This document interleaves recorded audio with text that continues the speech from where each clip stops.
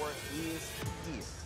Hold no punches. I'm real um, revolutionary right now. Support this man, Black Media. He makes sure that our stories are told. Uh, thank you for being the voice of Black America, Roland. Stay black. I love y'all. All momentum we have now, we have to keep this going. The video looks phenomenal. See, this difference between Black Star Network and black-owned media and something like CNN. You can't be black-owned media and be scared. It's time to be smart. Bring your eyeballs home. You dig?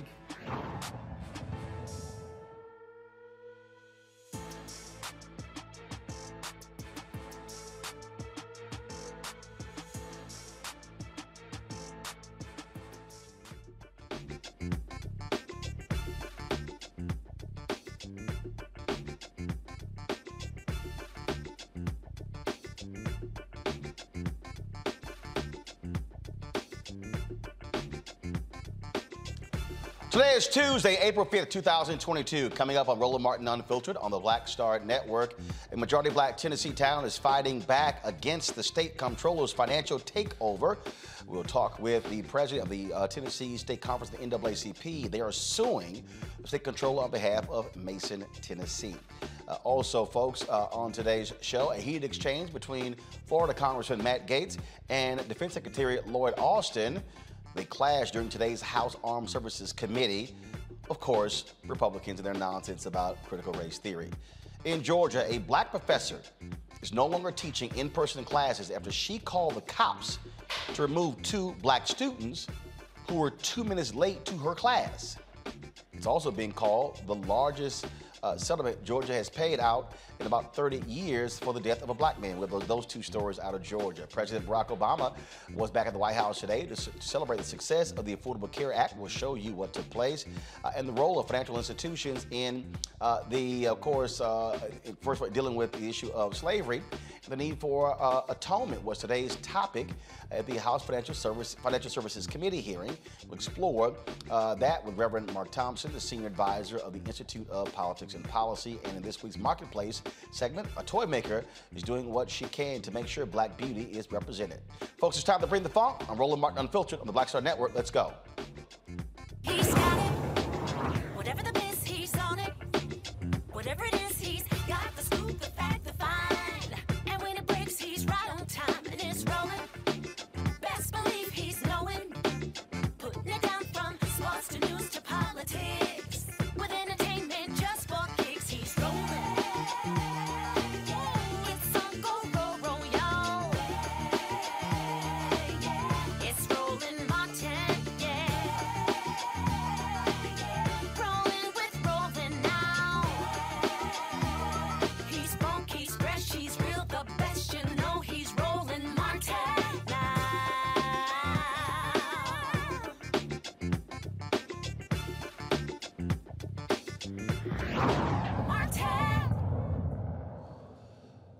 folks, the uh, Tennessee State Conference of the NAACP, uh, they are suing the state comptroller on behalf of Mason, Tennessee. They're seeking a temporary injunction tomorrow to cease the financial takeover of that particular town. Uh, they're help, the NAACP is helping out this majority black town uh, file this lawsuit against Tennessee's comptroller claiming discriminatory practices. Last month, Tennessee comptroller Jason Mumpower said he was taking over the town's finances because of financial mismanagement and it has significant financial debts. Joining me now from Jackson, Tennessee, uh, is Gloria Sweet Love, president of the Tennessee State Conference of the NAACP. Gloria, glad to have you on the show. Uh, what is the, the um, uh, standing of the Tennessee State Conference of the NAACP in filing this lawsuit? Well, we are the premier uh, organization that believes in civil rights and social justice, uh, not only in Tennessee, but across the nation. We have been on the ground with the officials in Mason uh, since this uh, first happened. Uh, in this unprecedented move, uh, once Ford uh, announced that they were going to bring a $5.6 billion uh, plant to the area, and Mason is only about four and a half miles from that site, there would definitely be more business and more industry. all of a sudden, in an unprecedented move, uh, Mumpower sent, first of all, a letter to all of the uh, citizens of Mason trying to get them to surrender their charter. Of course, we showed up and say, don't surrender your charter. Of all the things you do, keep your charter uh, because uh, that gives you the power. Um, they he pushed forward to take over their finances, and we've said that we know that there is nothing in Tennessee Code annotated law at all that gives him that power to do that. So we're standing with Mason, uh, filing for some injunctive relief, and we are standing with Mason and asking people to support Mason as they pay back $250,000 that this administration did not cause uh, to be missing, but that happened in the previous all-white administration, but was actually passed down to this particular administration. And it certainly raises questions why the comptroller did not actually take action against the city when it was run by white folks. Exactly. And the thing of it is, he does not have the authority to do that. Uh, you have to understand this comptroller was is a former uh, a Speaker of the House of Representatives in Tennessee. Uh, he got uh, beat out for that seat, and now he felt like he could come and levy his power uh, over these people. But we say no, no. Uh, we're going to stand with them. We were rallying with them on Saturday. Uh, we are asking people to support them by giving to the cause and making sure that we pay back, they pay back this debt so that they can move forward and becoming the town that they really want to be because they love their town and you know he has no authority to take it over so uh, on that particular point saying he doesn't have the authority uh, and so but according to the comptroller he does so what does the constitution say well the, nowhere our, our, lawyers have looked uh, at tennessee code annotated throughout and he does not. There's nothing that gives a comptroller authority to take over a town. Uh, the thing with him taking over the finances, uh, that's that's what our lawsuit is about to give us some injunctive relief to allow them to pay back. Uh, they've actually taken part of their CARES Act funds and paid back part of the money. So now they owe still owe uh, an additional two hundred fifty thousand dollars. Remember, uh, the current administration uh, Mayor Gooden and Vice Mayor uh, uh, Vice Mayor Rivers and those all the person, they did not create this debt. This debt was created uh, in the administrations before them. No, he does not have the power to do it, and we believe a judge will side with us. All right, then. Well, look, that's taking place tomorrow. What time is the hearing tomorrow, uh, and, and in which city in Tennessee? It, it is in Nashville, and I think it is at 11 a.m. Uh, so you said 11 a.m. Which city? Nashville, Tennessee, oh, the capital. All right, then. So we'll yes. certainly be uh, following up tomorrow to see what happens uh, in uh, that uh, court in Tennessee. Thanks a lot. Thank you. All right, folks, bringing in my panel right now, Dr. Mustafa Santiago Ali, former senior advisor for environmental justice at the EPA, uh, Teresa Lundy, principal founder of TML Communications. She at the doghouse after last week. Yeah, you know why. and then, uh huh, uh huh. Trying to say I'm in the same age group as your daddy. He dang near uh, 90 years old. Stop it. Uh, and uh, we were joined later by Damario Solomon Simmons, uh, civil rights attorney uh, and founder for Justice for Greenwood. This um, this battle back and forth here uh, is, is, important, Mustafa, and th- this is why it's important to have civil rights groups who also uh, can utilize their lawyers to fight on behalf of African Americans. When I hear people complain, oh, I don't know what the NAACP is doing, or I don't know what these groups are doing, people have no idea that there are many court challenges that take place that folks simply don't hear about. This is one of the things that they actually do. You know, the NAACP and a number of our organizations, they just they do the work. Um, you know, it's not always about being um, in the middle of the news. It's about, you know, doing those foundational things to help our communities to be in a better place. This is just one additional example. We now have our own folks who are fighting this hostile takeover.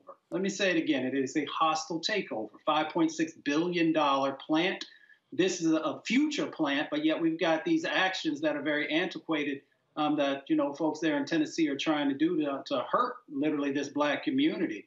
That that plant is going to be focused on bringing you know the next generation of trucks and batteries when we talk about this clean economy um, into the mix. So as people are trying to move forward with new technology and new opportunities, now folks are trying to sneak in and, take you know the resources away from this black community and take their power away. So that's why the NAACP and others are so critical in helping to protect our power and helping to protect our wealth.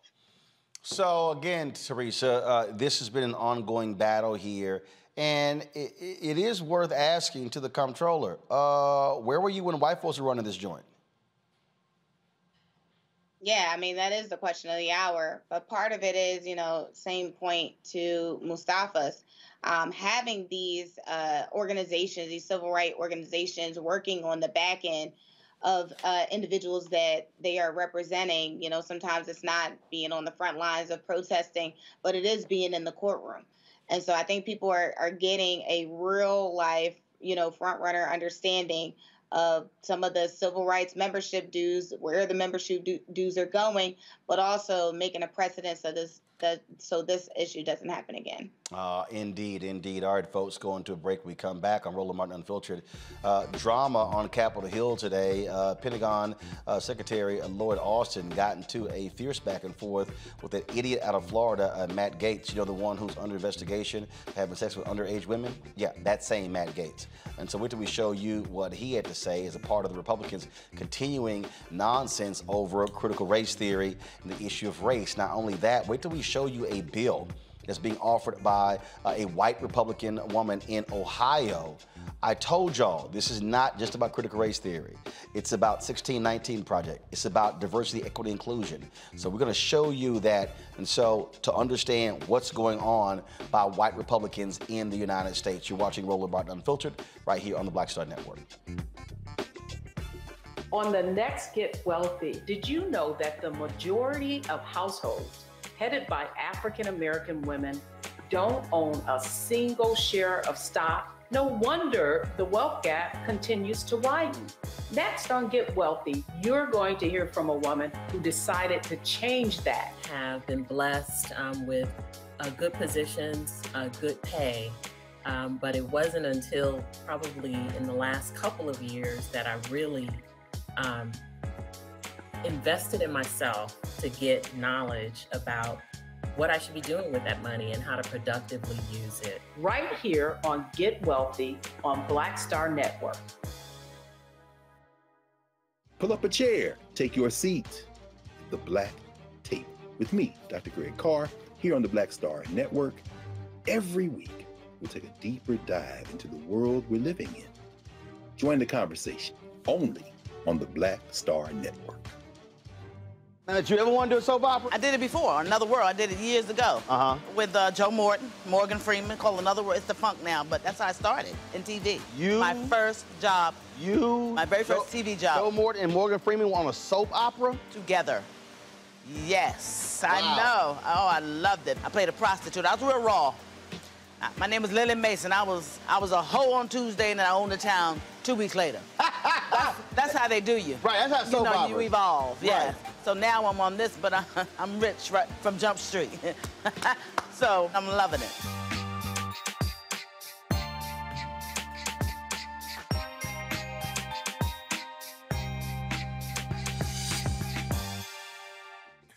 I'm BeBe Winans. Hi, I'm Kim Burrell. Hi, I'm Carl Payne. Hey everybody, this is Sherri Shepherd. You're watching Roland Martin Unfiltered, and while he's doing Unfiltered, I'm practicing the wobble.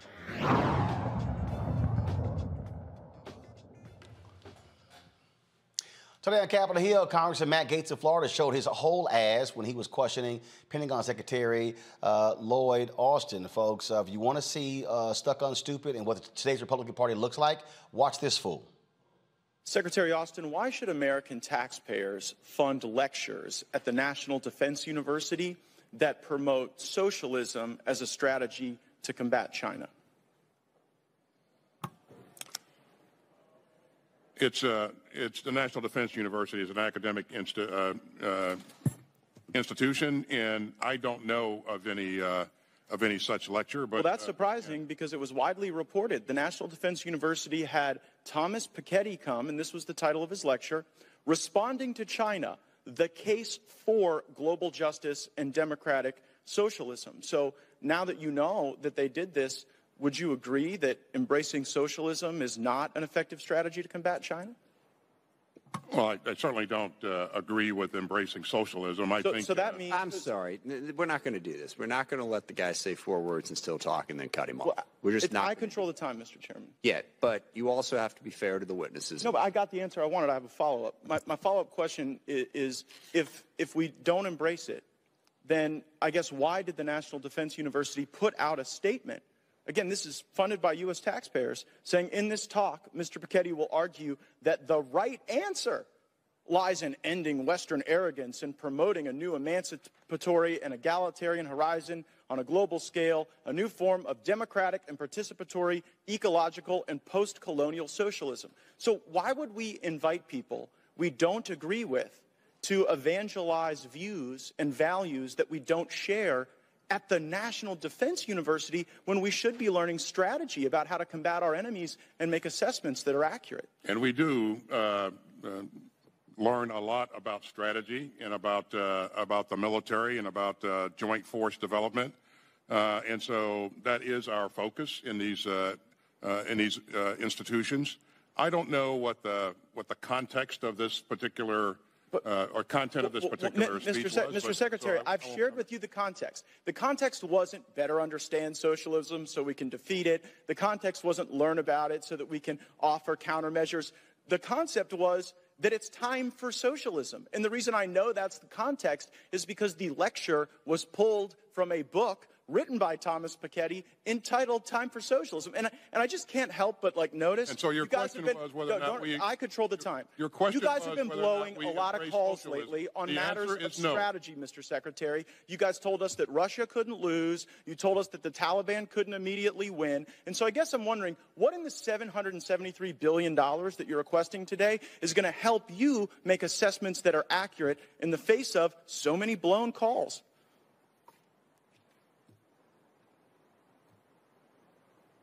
You, you've, you've seen what's in our budget. You've seen how the budget match- matches the strategy. And so I'll let that speak for itself.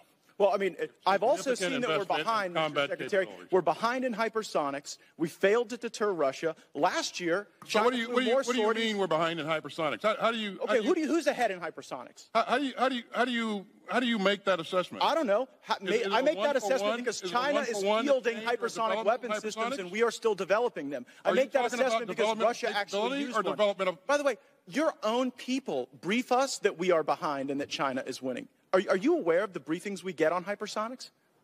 I am certainly aware of briefings that we provide to, to Congress. But it, it's not just the hypersonic. It's all over the world. It's in Taiwan, where China last year flew more sorties than ever before. It's North Korea on pace to shatter prior records, the number of missiles that they, that they are testing. And so while everyone else in the world seems to be developing capabilities and being more strategic, we got time to embrace critical race theory at West Point, to embrace socialism at the National Defense University, to do mandatory pronoun training.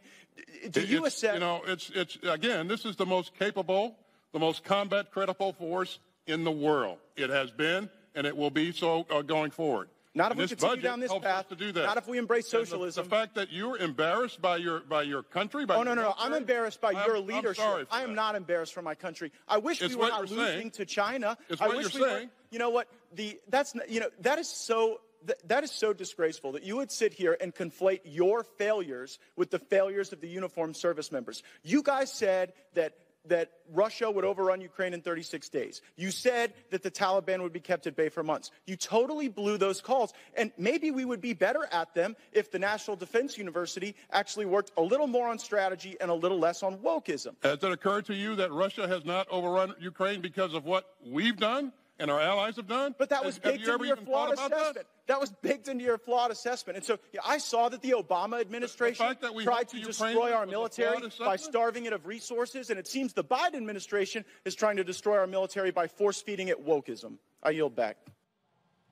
Folks, that whole display shows you uh, how much of an ass Matt Gaetz is. But that's today's Republican Party. Take Ohio Representative Jean Schmidt.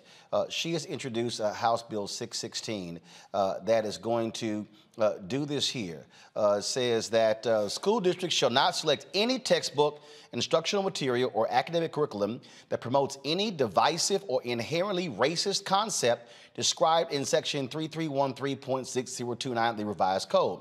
Check this out, y'all. Uh, as used in this section, divisive or inherently racist concepts include all of the following critical race theory, intersectional theory, the 1619 Project, diversity, equity, and inclusion learning outcomes, inherited racial guilt, any other concept that the State Board of Education defines as divisive or inherently racist in accordance with rules adopted under Chapter 119 of the Revised Code. Now, again, what you're facing here, and what did I warn y'all from day one? I warned y'all. This had nothing to do with critical race theory. That that was the umbrella they were trying to put everything under. The goal here, very simple, Damario, is to attack anything dealing with race, dealing with diversity, dealing with inclusion and dealing with black people's history in this country. No doubt, Roland, you're 100% correct. This is really trying to make sure that our history is not taught, and not only just our history, but their history of, de- of destruction, their history of colonialism, their history of enslavement, their history of genocide, their history of land theft, their history of redlining, their history of Jim Crowism. That is what they don't want to be talked about. It says inherited, inherit guilt. What do you mean inherit guilt? It's just the facts as it is in this country. It's a fact that you burned down Greenwood in 1921. It is a fact that you killed Dr. King in 1968. It is a fact that Rodney King was beaten almost to death in 1991, and you sent his trial out to a white area called Simi Valley so those officers could be acquitted. Those are facts. Um, this here is uh, Senator Jean Schmidt, uh, uh, Teresa, as reporters are trying to ask her questions. I, I've to go to the Senate. Please don't, don't Are harass you able me. to walk and talk and just explain it? No, I can't. Please. Why do you feel the need to introduce this here in Ohio? Why do you want to talk about this bill that you are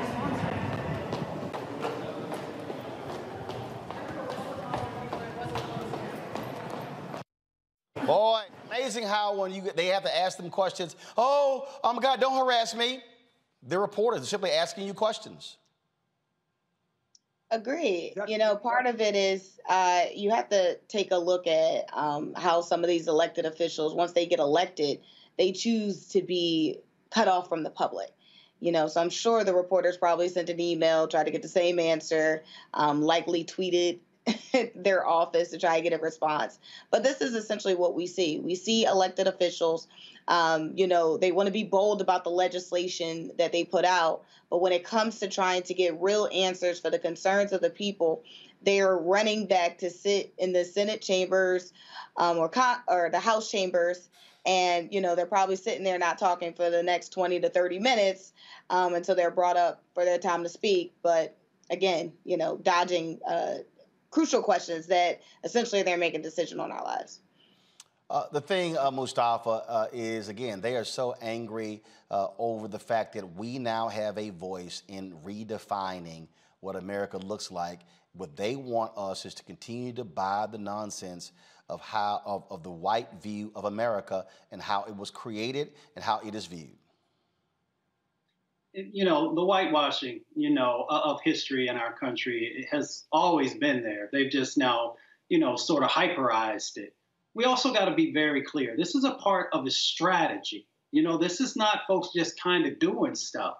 Folks understand that Ohio is going to be critical in 2022 and 2024. And, you know, we have to just understand that individuals, these elected officials, are trying to find leverage uh, to, or actually trying to, you know, build these things between communities so that they can win votes. And, and that's just what a part of this is about. The other part of it is we just need to call out the fact that Secretary Austin is a member, he's one of the folks with that real high integrity uh, in who they are and how they conduct themselves. And Matt Gaetz, you know, he's up for or he's being investigated because of um, you know sleeping with a minor. So we just need to call out the fact that those two different dynamics that you saw um, when uh, he was being you know questioned there on Capitol Hill. You know the two different types of men uh, and how they've led their lives and, and the value that we should place um, in you know what's going on in that space. Well, we just have to understand the war that we're engaged in, and I, that's this is this is why Damario, my book White Fear is dropping uh, in uh, in September because this is precisely what I'm talking about. This is absolute white fear run amok, and them using their political power. Yeah, and, and as a former state uh, lobbyist for a progressive institute here in Oklahoma, I know what's going on here. You have these bills that are already templates that are drafted by places like ALEC.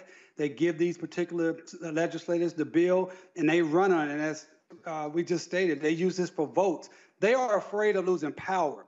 They're afraid of losing the ability to be over everything, to take everything for themselves and for their, their community. That includes monetary power, voting power, economic power, and also the, the mind educational power. You know, Dr. Carter G. Woodson told us if you control a man's thoughts, you don't have to worry about his actions. And that's what they're trying to do here. They're trying to control the thoughts of Americans about the true history of this country. It's distasteful, it's disgust, uh, disgusting, but it's par for the course. This yep. is what America's always been about. This is what Trump means when he says make America great again. Yep. Going back to a white supremacist mind state where they can control every aspect of our learning, our movement, our money, and our ability to live as free and independent people. Well, and that's what we got to be prepared for. And a lot of that was because of the person we're about to show next. When he was elected, that's President Barack Obama. He was at the White House today uh, for a celebration of the Affordable Care Act and the changes the Biden Harris administration is making to it. And so here is what took place today when President Barack Obama had sort of a homecoming with his VP Biden at the White House.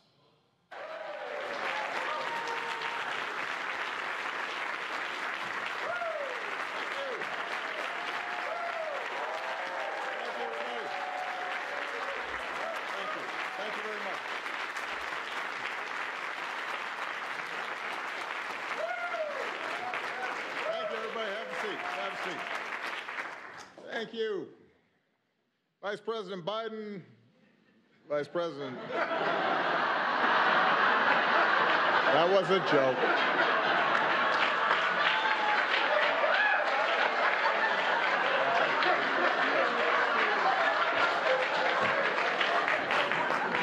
That was all set up. My president, Joe Biden, Vice President Harris.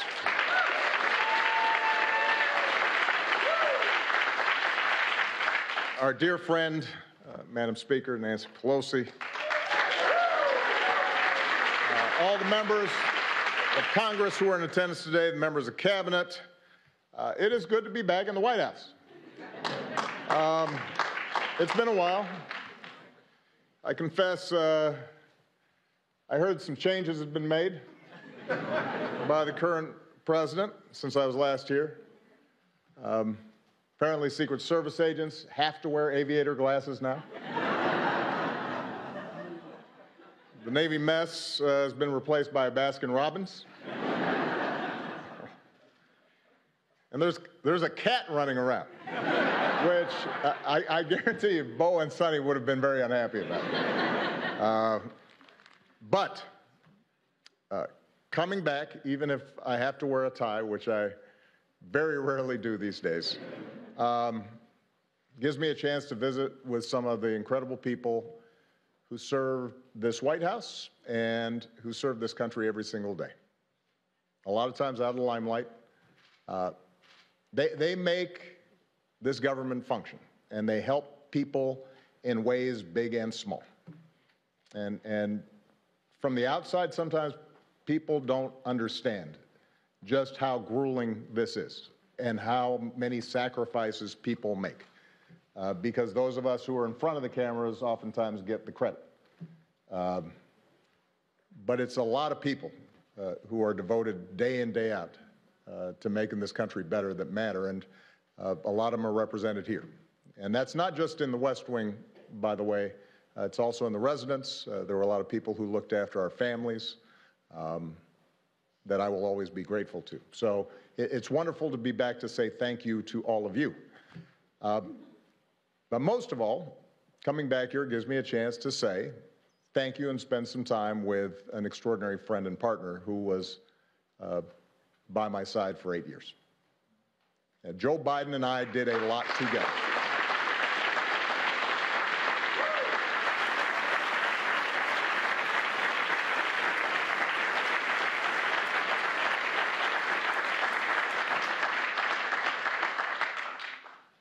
We helped save the global economy, made record investments in clean energy. We put guardrails on our financial system. We helped turn the auto industry around, repealed Don't Ask, Don't Tell.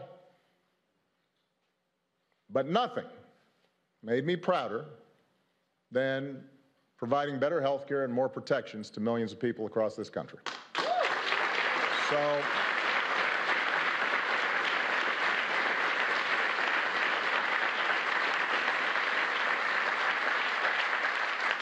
so when President Biden said he was not going to just celebrate the ACA, but also announce actions that would make it even better, I had to show up.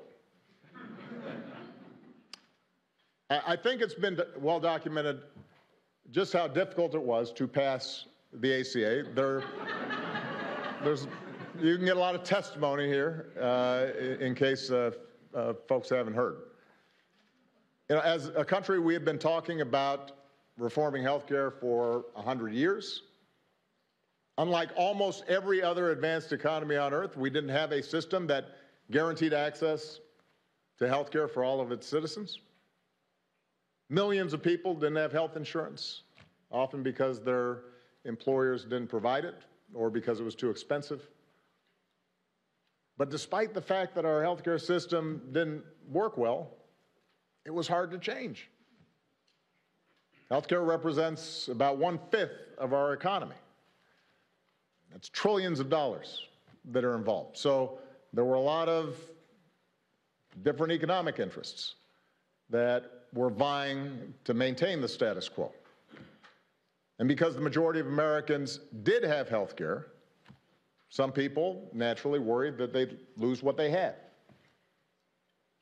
The media was skeptical of past failures.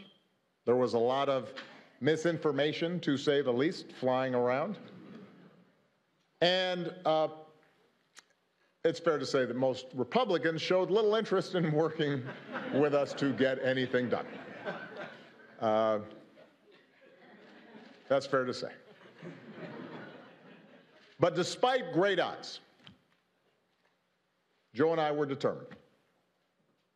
Because we'd met too many people on the campaign trail who'd shared their stories, and our own families uh, had been touched by illness. And as I said to our dear friend Harry Reid, who uh, is missed, wished he was here today because he took great pride in what we did. I intended to get health care passed even if it cost me reelection, which for a while looked like it might. uh,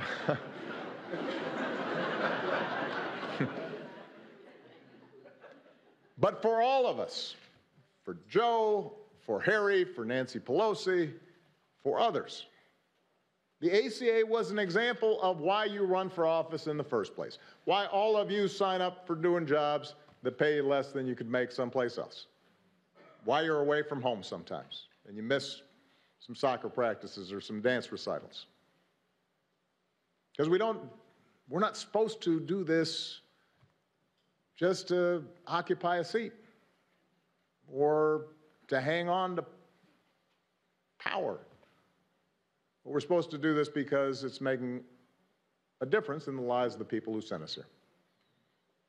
And because of so many people, including a lot of people who are here today, made enormous sacrifices. Because members of Congress took courageous votes, including some who knew that their vote would likely cost them their seat. because of the incredible leadership of Nancy and Harry. We got the ACA across the finish line together.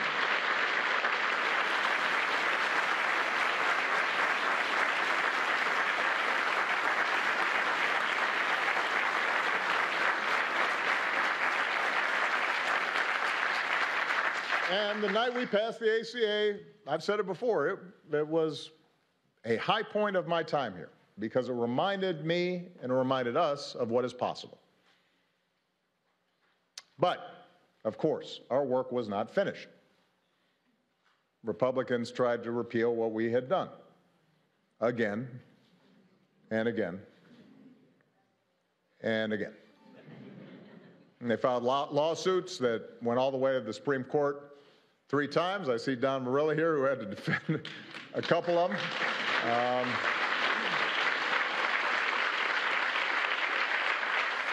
uh, they tried explicitly to make it harder for people to sign up for coverage.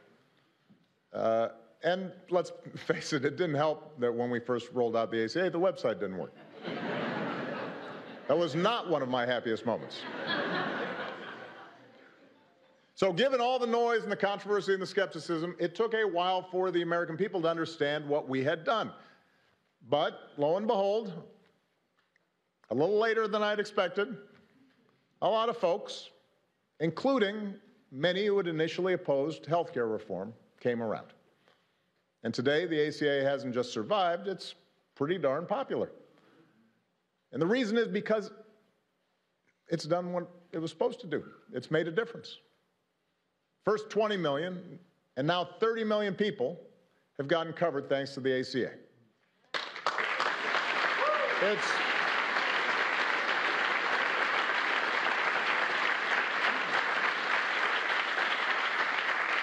It's prevented insurance companies from denying people coverage based on a pre existing condition. It's lowered prescription drug costs for 12 million seniors. It's allowed young people to stay on their parents' plan until they're 26. It's eliminated lifetime limits on benefits, but often put people in a jam. So we are incredibly proud of that work. But the reason we're here today is because President Biden, Vice President Harris, Everybody who's worked on this thing understood from the start that the ACA wasn't perfect. To get the bill passed, we had to make compromises. We didn't get everything we wanted. That wasn't a reason not to do it. If you can get millions of people health coverage and better protection, it is, to quote a famous American, a pretty big deal.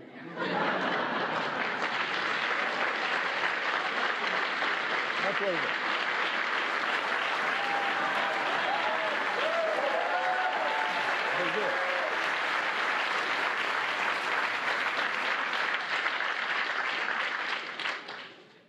There were gaps to be filled. Even today, some patients still pay too much for their prescriptions. Some poor Americans are still falling through the cracks. In some cases, healthcare subsidies aren't where we want them to be, which means that some working families are still having trouble paying for their coverage. Here's the thing that's not unusual when we make major progress in this country. The original Social Security Act left out entire categories of people, like domestic workers and farm workers. That had to be changed. In the beginning, Medicare didn't provide all the benefits that it does today. That had to be changed. Throughout history, what you see is that it's important to get something started, to plant a flag, to lay a foundation for further progress. The analogy I've used about the ACA before is that, in the same way that uh, was true for early forms of Social Security and Medicare, it was a starter home. It secured the principle of universal health care, provided help immediately to families, but it required us to continually build on it and make it better. And President Biden understands that. And that's what he's done since the day he took office. As part of the American Rescue Plan, he lowered the cost of health care even further for millions of people. He made signing up easier, made outreach to those who didn't know they could get covered, make sure that they knew, made that a priority. And as a result of these actions, he helped a record 14.5 million Americans get covered during the most recent enrollment period.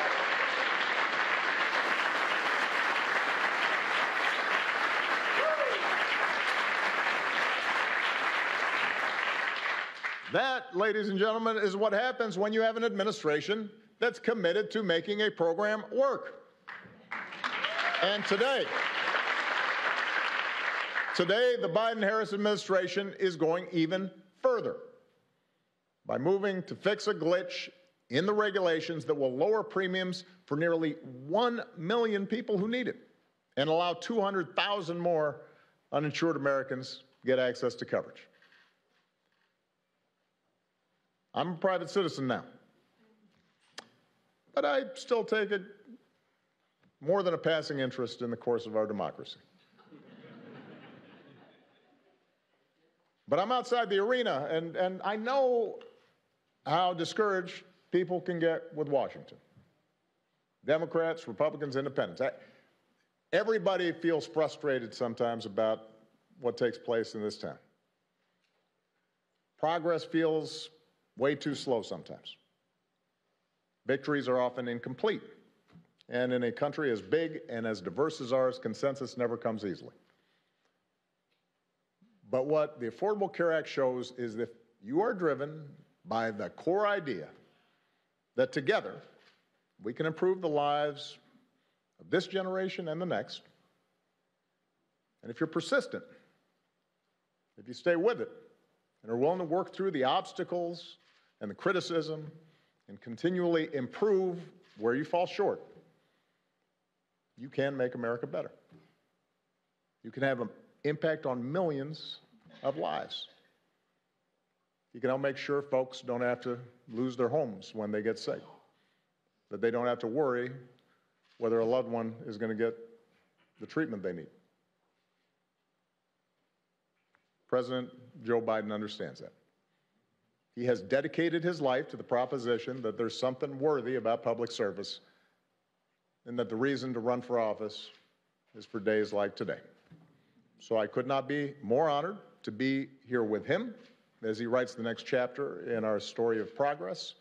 I'm grateful for all the people who've been involved in continuing to make the ACA everything it can be, and it is now my great privilege to introduce the 46th President of the United States, Joe Biden.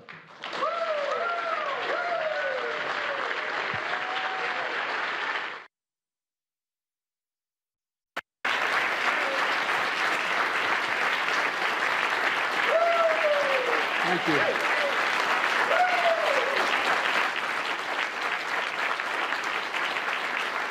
Thank you,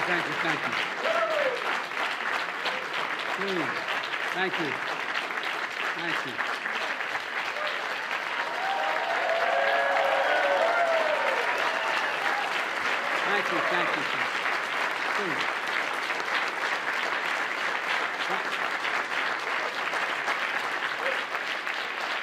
Please. Thank you.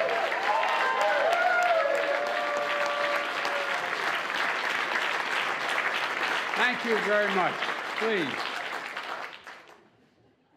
My name is Joe Biden. I'm Barack Obama's vice president. And I'm Jill Biden's husband. By the way, the only reason Jill's not here today, she's working. she's teaching. and so I just want you to know that's why she's not here. Good afternoon, everyone. Mr. President, welcome back to the White House, man. Feels like the good old days.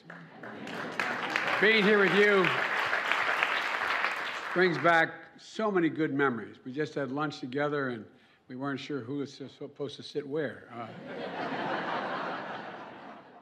look, it's fitting that the first time you return to the White House is to celebrate a law, a law that's transforming millions of lives because of you. And I say because of you. We had a lot of help, the staff, and I helped a little bit, but it's because of you. A law that shows hope leads to change. And you did that. You did it. Let's be honest.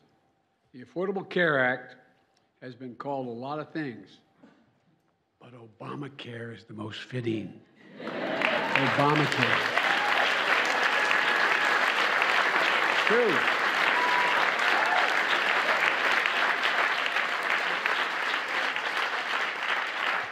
I can tell you all how much Barack Obama cared about getting this done.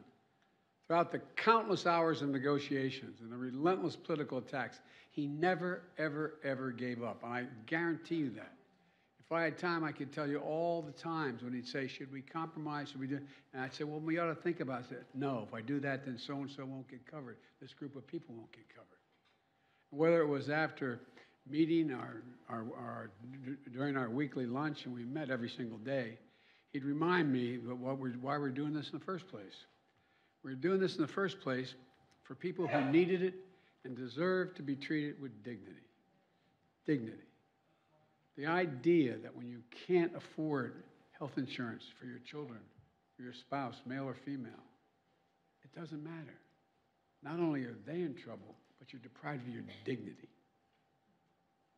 Barack, you talked about the idea that it was important that we make sure that you couldn't outrun your insurance. I can remember there with, with Bo, thinking to myself, what would I do if they walked in and said, you've outrun your time here? And there were still 35 days to live. The things that change people's lives. We both understood the Affordable Care Act wasn't about a single president or the presidency. It was about the countless, countless Americans lying in bed at night, staring at the ceiling, wondering, my God, my God, what if I get really sick?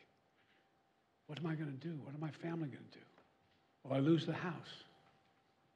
Discussions we had in my house with my dad when he lost his health insurance. Who's going to pay for it? Who's going to take care of my family? You know, in America, healthcare, as we all three said, will have now said, healthcare should be a right, not a privilege. And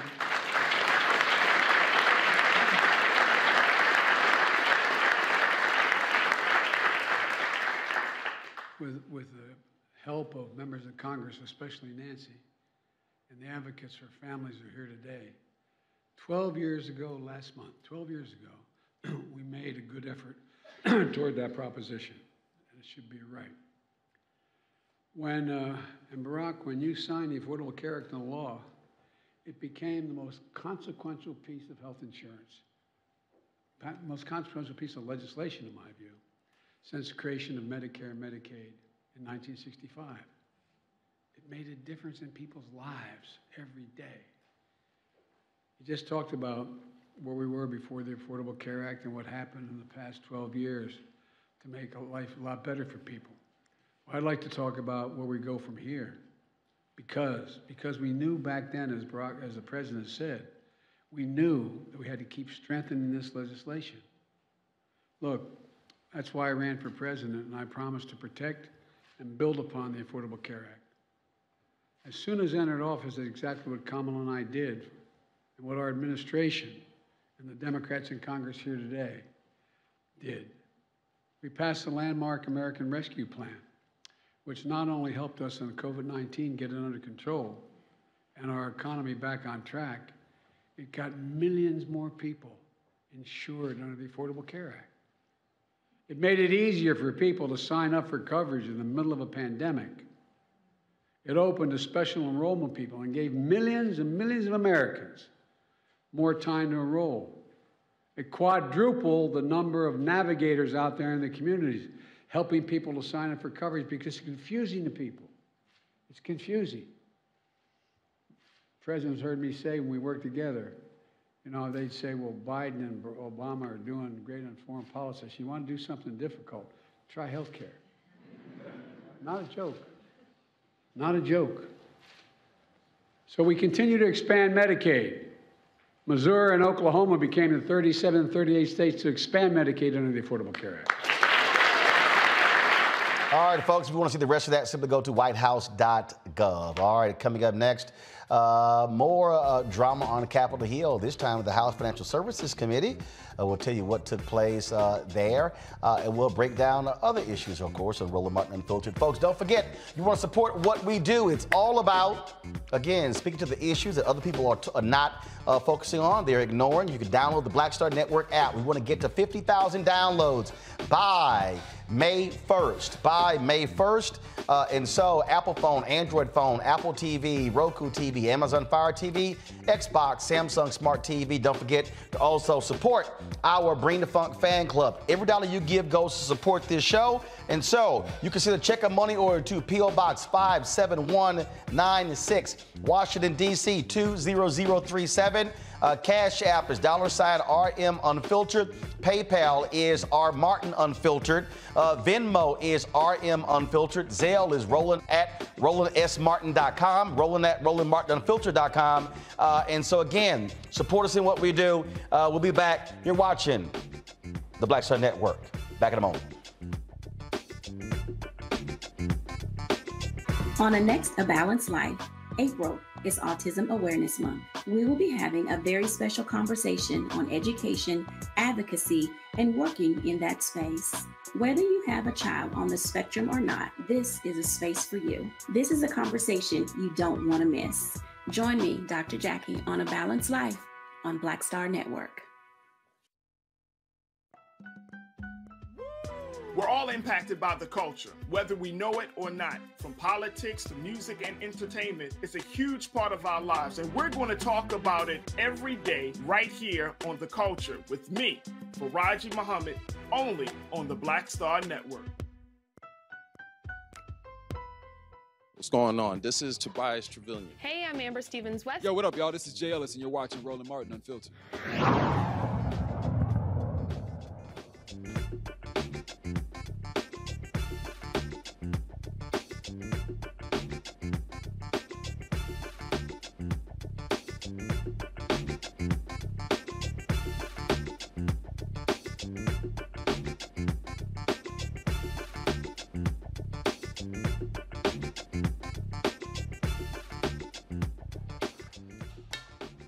All right, folks, uh, welcome back to Roland Martin Unfiltered. Uh, here is today's Black and Missing.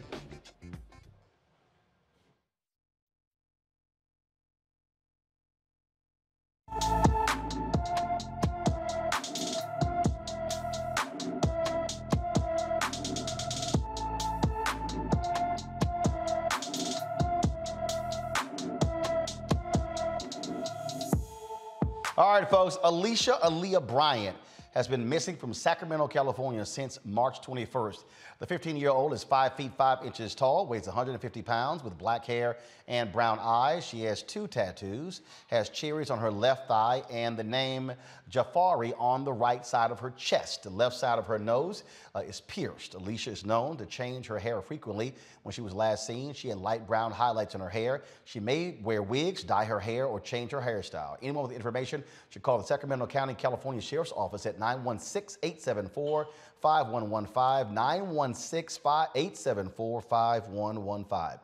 A black college professor, Carissa Nicole Gray, is no longer teaching in person classes at Georgia State University after she called police on two black students for arriving to class two minutes late. This took place at the Perimeter College, the Perimeter College at Georgia State University. Now, here's what Bria Blake, who was in the same classroom, said happened in this TikTok video. Two black students had the police called on them today at Georgia State's perimeter campus in Newton County for being two minutes late to class. You heard me correctly, two minutes late to class, and they had the police called on them. When the professor then asked them to leave, Taylor responded and said, We paid to be here. The professor, Carissa Gray, then responded, Okay, and left the room. When she returned, she returned with two armed police officers. The woman cop, whose name I do not know, proceeded to grab Taylor's things and try to forcibly remove them from the room. They then said that if they did not leave, they would be charged with trespassing. The students arrived to the classroom. The door was wide open. They were allowed to enter, walk all the way to their seats, sit down, and proceed to take out their things to take notes. The woman police officer proceeded to hold on to Taylor's things until Taylor agreed to leave. She then went down to the advisement center to figure out who it was that she could talk to to file a report. She was directed to go to the department head of Professor Mason, then told Taylor that her only two options were to either stay in an environment that she didn't feel safe in or take an F. When we went across the street to the other building to file a complaint with the Student Life Department, we were then informed that this was not the first time that the police had been called on a student for something irrational. Taylor also disclosed that she felt as though this action taken by Professor Carissa Gray was in retaliation to an earlier event that happened earlier on in the semester. Time and time again, we've seen the police being weaponized against black people. Calling the police on two students for being two minutes late to class is extremely unreasonable and dangerous. Both of the students, a woman and a man, started crying because they were so terrified of what could happen to them. Please share this video. I'm trying to spread this story so that people can know what's going on. Stuff like this cannot keep happening to black youth in America. Stop weaponizing the police against black people. Now, according to the school's code of conduct, instructors have the authority to remove students from class and or call security in cases that can be perceived as disruptive behavior. Georgia State University officials are investigating what happened here. Uh, this is beyond strange, Teresa. Like, it is. Two minutes late? Two minutes late? The students had every right to be in that classroom. It didn't matter if they was two minutes late or five minutes late. It just seemed like the professor was just unprepared for the lesson.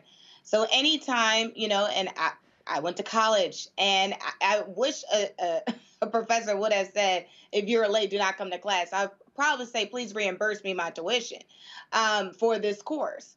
Because, you know, and, and I think the young lady was right in her TikTok video. I'm so glad that we're utilizing social media in this way because um, if if this video didn't go viral, right, there probably had, wouldn't have been any consequences for this professor. I think it was countless times this was happening in the student union, uh, according to the video. And, you know, it just doesn't seem like, you know, this prof- professor in particular is willing to take, uh, willing to get any consequences for her actions. But it seems like she's being very petty. This was a very dangerous, dangerous act um, that can happen from any uh, college or professors, especially during the times we are in right now. I, I just don't understand, Mustafa, why the professor's being a hard ass for two minutes late. I mean, look, it's college.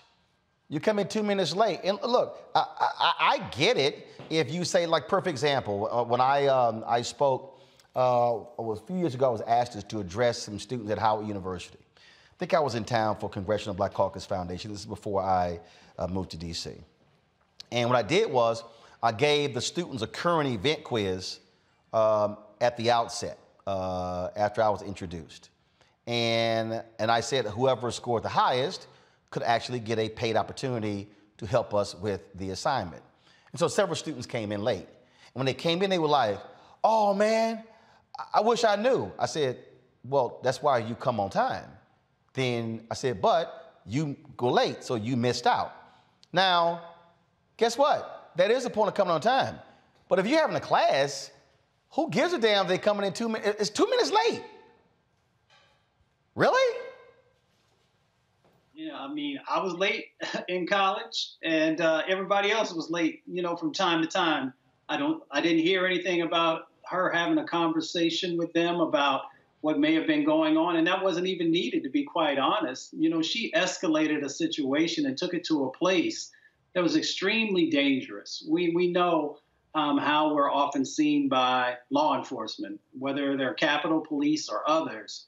So she should have had the sense to not even engage in that way. And she should have just did her job. You know, your job is to share information you are dealing with adults. They get to make the decisions that they want. If they want to come to class five minutes late, 10 minutes late, don't show up at all, you know, it'll be reflected in their grades. So for, for this type of action to have taken place, they don't, they're not yet ready to actually teach at the college level. Uh, you know, Damario, uh, I had a flashback because uh, when I was in, when I was at Texas A&M, it was a it was an English class, and it was the class was every Tuesday and Thursday.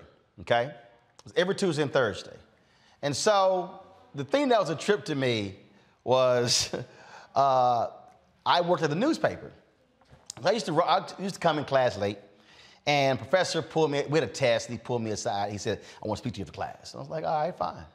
So he said, "You know, I got a problem." I said, "What's the problem?" He said, "You know, you come to, you come to my class uh, late. Uh, you, you're not doing well on your test." He went through this whole deal, and I was like, "You done?" And he's like, "Yeah." I said, "Man, I'll be honest with you." I said, "I don't care about this class." I said, "Let me explain something to you." I said, "This class is irrelevant to my future." I said, I've had job offers since I was a freshman. I said, I need you to understand that I work at the newspaper in town, the Bryan College Station Eagle. I said, now if I got a choice between reading your 100 pages or staying late, working at the newspaper, writing stories, I said, I ain't never getting around to your 100 papers. I said, so I just need you to understand. I don't need an A, I don't need a B, I don't need a C. I just need to pass your class. I said, if I, I said, I know what I'm gonna do with my career. And your English class is not a priority. My priority is to learn as much as I can as a newspaper reporter right now. So when I graduate, I will be one of the best at what I do. I said, so listen, I'm gonna come to your class late. I said, and that's how it's gonna go. I was not, now again, now some of y'all, because see, I know some of y'all out there listening, y'all gave a damn about magna cum laude, cum laude, and your grade point average. I knew what nobody gonna ask me after college what the hell I made in the class.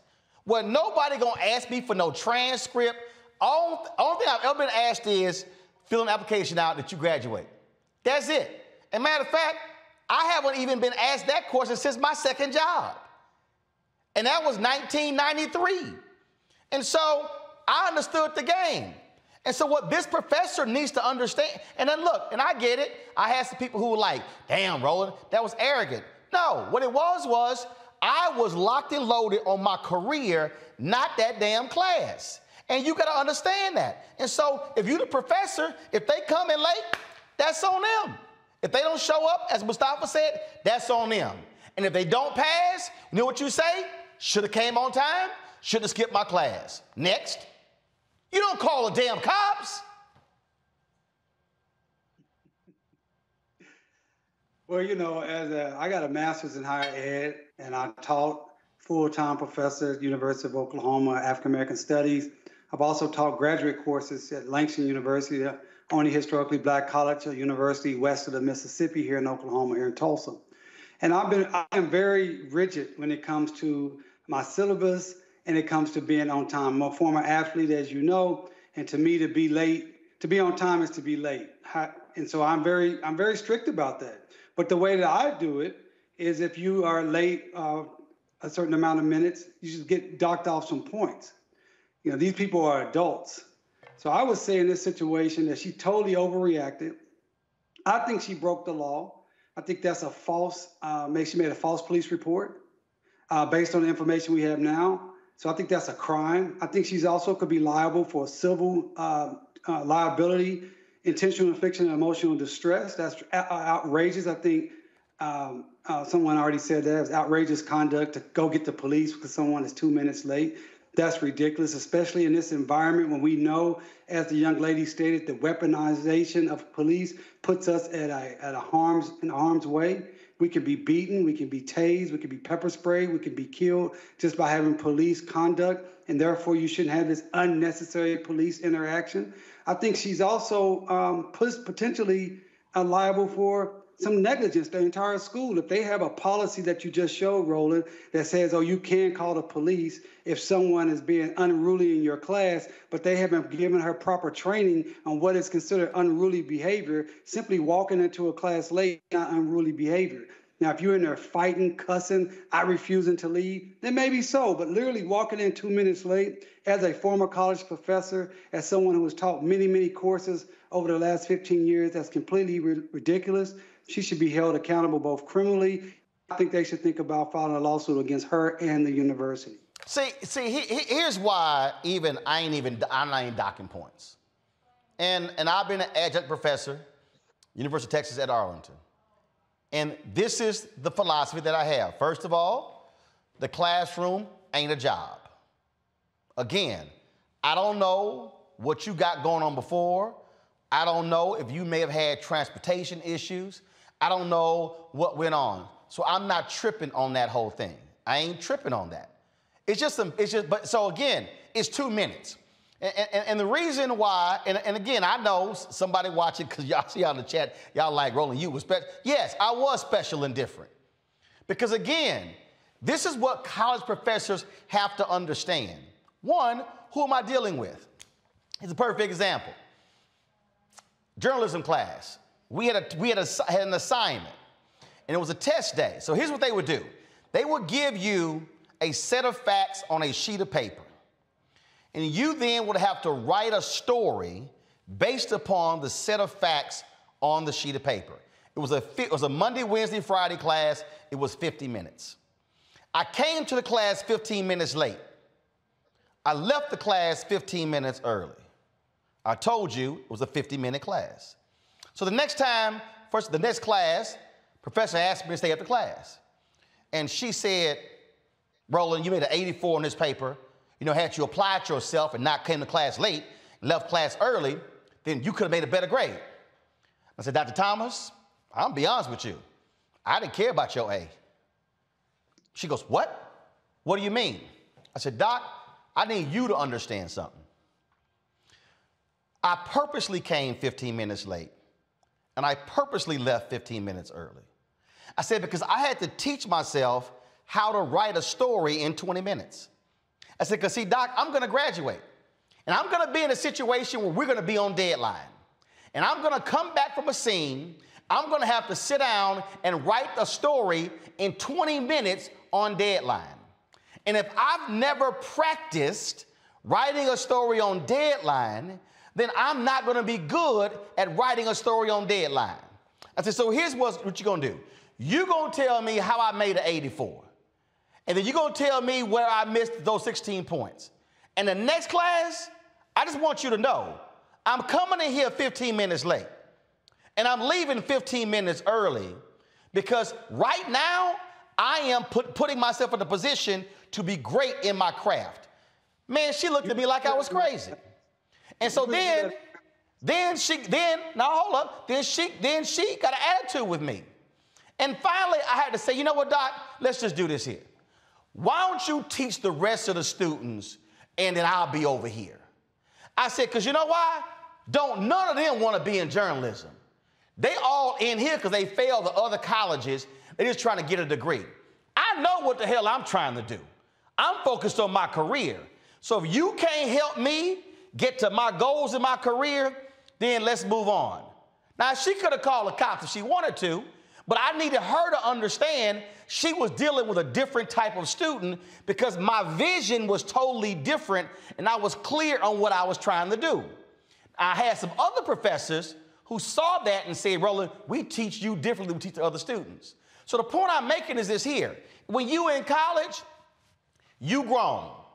You don't have a mom and daddy telling you when to wake up, telling you when to go. You don't have to come to class. And again, it's on you as a college student. And if you, you can shake your head all you want to, Damario, but if that college student decides to be late or not come, they're going to suffer the consequences of their actions. But the consequences of their actions should never be the professor calling the cops on them no. for being two minutes late.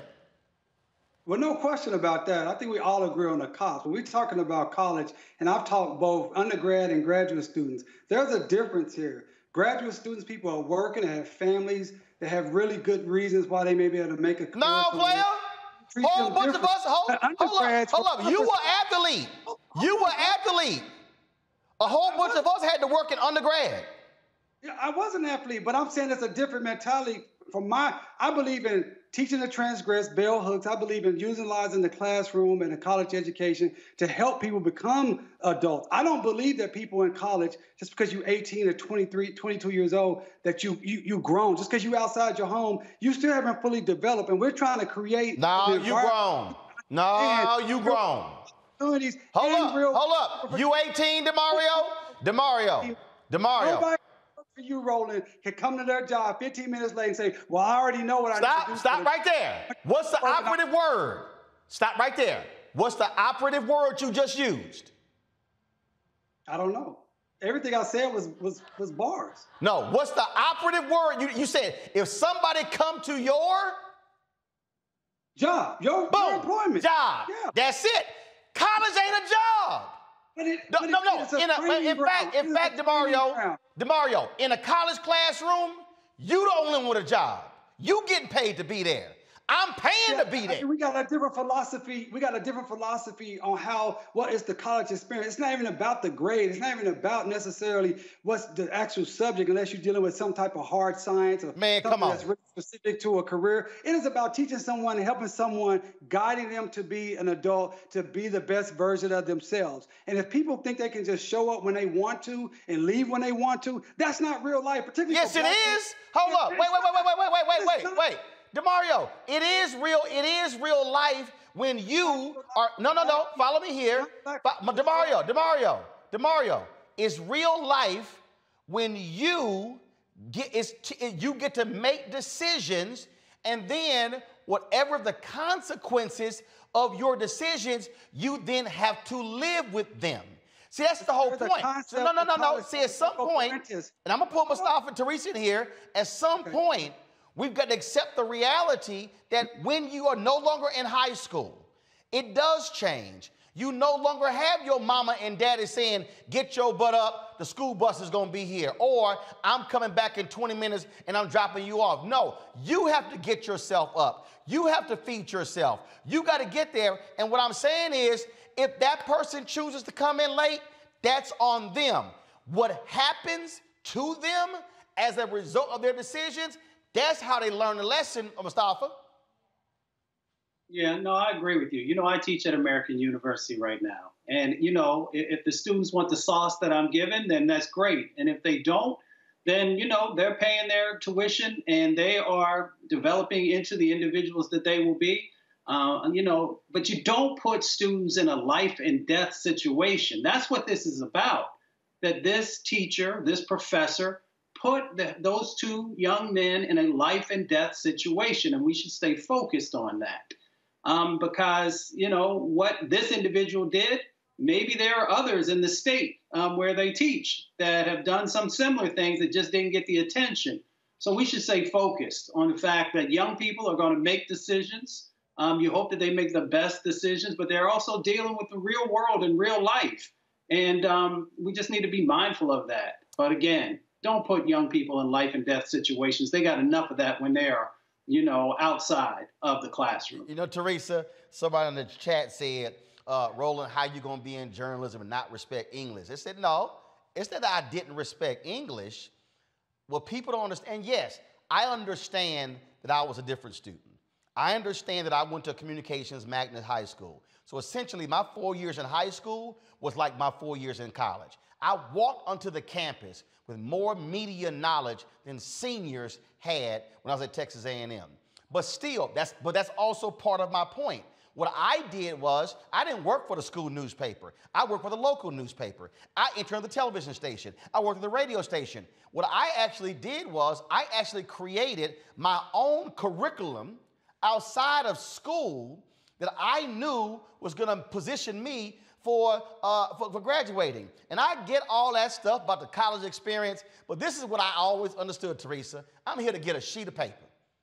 It's a sheet of paper. Now, people can sit and talk about all the experience and what I, it's a sheet of paper. College is a conduit to you getting a job and building a career. I don't get all, you know, all this other stuff, how people get all excited. Oh my God, you missed the experience. Yeah, that's all great, wonderful. It's about getting a job, building a career. And all I'm saying is this here. If I had professors who were so rigid, then, then I would not have been able to craft my college career the way I wanted to because I knew what I need to be successful.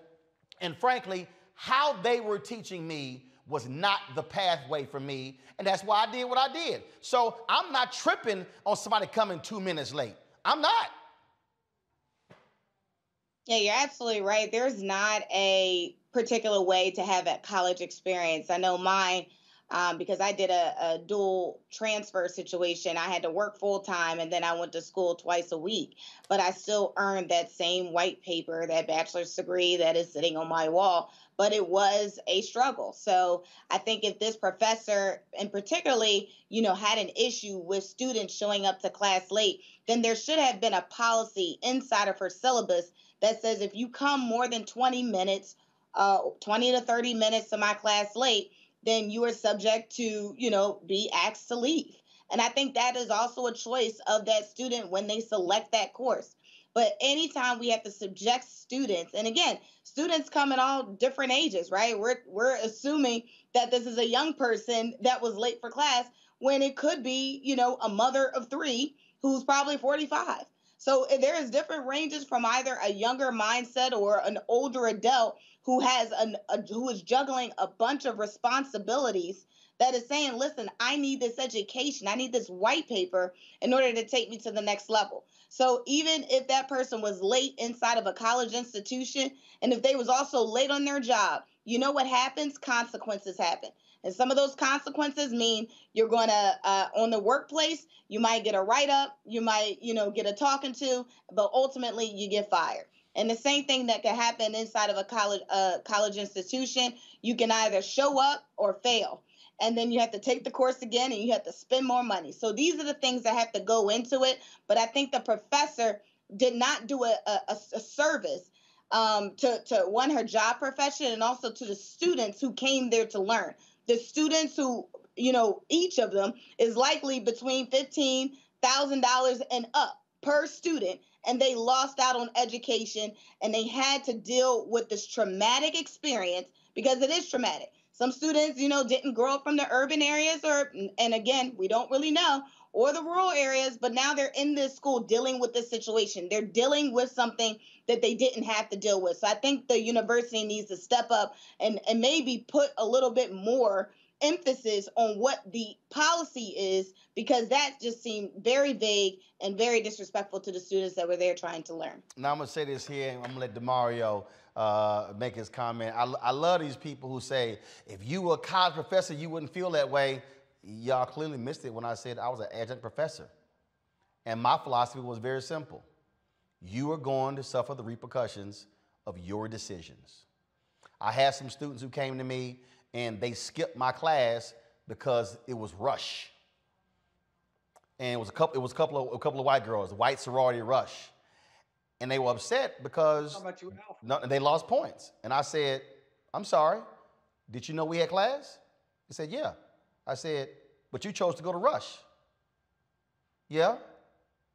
You're not going to make an A. So she started crying. I said, Why are you crying? I said, Who went to Rush?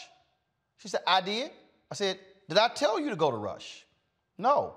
So why are you crying? I said, You made a decision and that was your decision. Now you have to live with the consequences of the decision. Your ass not making an A. She's like, well, well, can you give extra credit? No. Because your ass went to rush. Now, to your point, Damario, understand when I run newspapers, I've told my I've told staffers when I ran newspapers, I said, when I ran the Chicago Defender, I said, look, I don't need to see y'all. Long as you have your story in by X amount of time, and I can reach you when I'm editing it, we fine. I ain't asking where you are, but your ass better have your work in.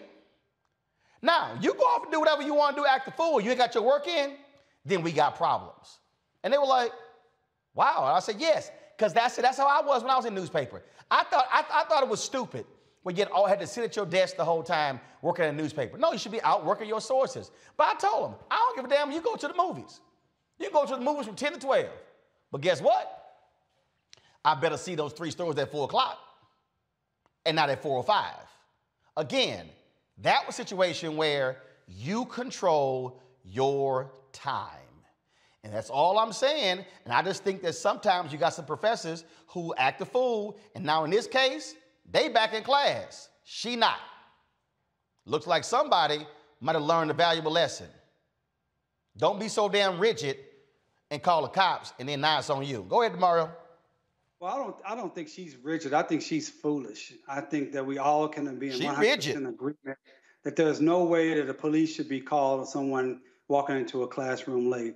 And, and my, my, my simple point to close out this segment, if you want to, to be over with, is that as a as now, a college I, I, student, hold up now. Now I'm gonna decide when it's over with, but go ahead. That's what I said. No, I, I had somebody in the chat say, "Okay, Roland, let's move on." I was like, "Uh, Erica Williams." No, I said if you. I, That's what I no, no. I'm just saying. I'm calling her out. I said, Erica Oh, Williams, okay. you don't decide when I move on. I do.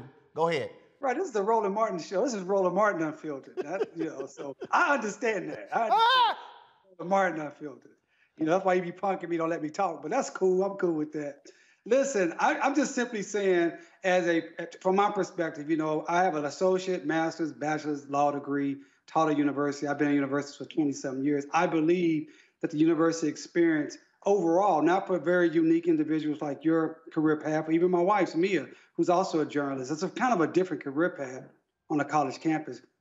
But part of it is teaching these young people, most of most of the time, to Teresa's point, not all the time, as undergrads, how to be adults, how to be responsible, how to talk if they have an issue, right? If they're saying, look, I have to work late some nights or I have children, how to be able to approach the professor, go to office hours and say, this is my issue, how to communicate. Then I also believe as a professor, it's on me you know, as Bell Hooks talks about in her book, Teaching to Transgress, it's on me to make the, the classroom experience something that the, the students want to participate in, that they want to show up in, even if it's a subject that's not relevant necessarily to their career, por- career path, but they're so enthused and excited about my teaching style, what we're talking about, and the material, how I make it come to life, that they want to show up early. They want to be there. They want to participate. So that's my point. Well, I'm gonna tell you right now, you tripping on two minutes late, man. Gone with that nonsense. Uh, I, I hope she don't get a job. But it's back. also a disrespect that if you're walking in 15 minutes late while I'm lecturing or talking, and you just come in and do what you want to do. Hey, hey, we have- Hey. Because it's like it's. Hey. Do you not respect my time because this is my profession? No, guess what? No, and guess what? If I walk in 15 minutes late, your ass keep talking. Yeah, that's disrespectful. No, it's not. See, I'm coming, I'm I had stuff to do. I'm coming out of athletic background. You walk into practice 15 minutes late, you're gonna run. Hey, hey, guess what? you- you we ain't run talk. Hold up, hold up. Do you want me to pull up Allen Iverson? We talking practice, not the game. Practice, not the game. Practice. I'm with Allen Iverson. You know? Do you know what college was? Practice. Do you know what I was preparing for? The game. So you right. When I walked in 15 minutes late, that shit was practice. And it wasn't even a journalism class. It was a non-journalism class.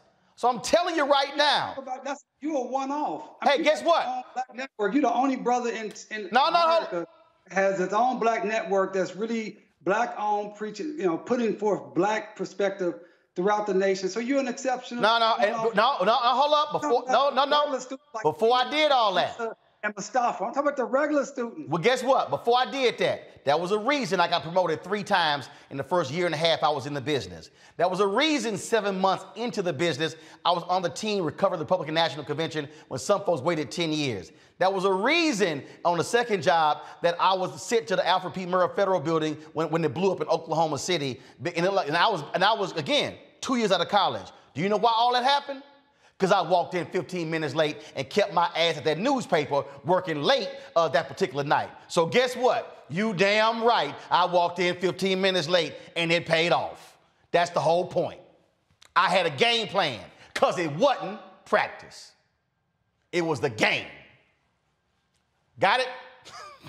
All right, I'm going to a break. I'm going to holler at Mark Thompson next about what took place at the House Financial Services Committee today dealing with the issue of slavery. You watching Roland Martin Unfiltered on the Black Star Network. Damn it.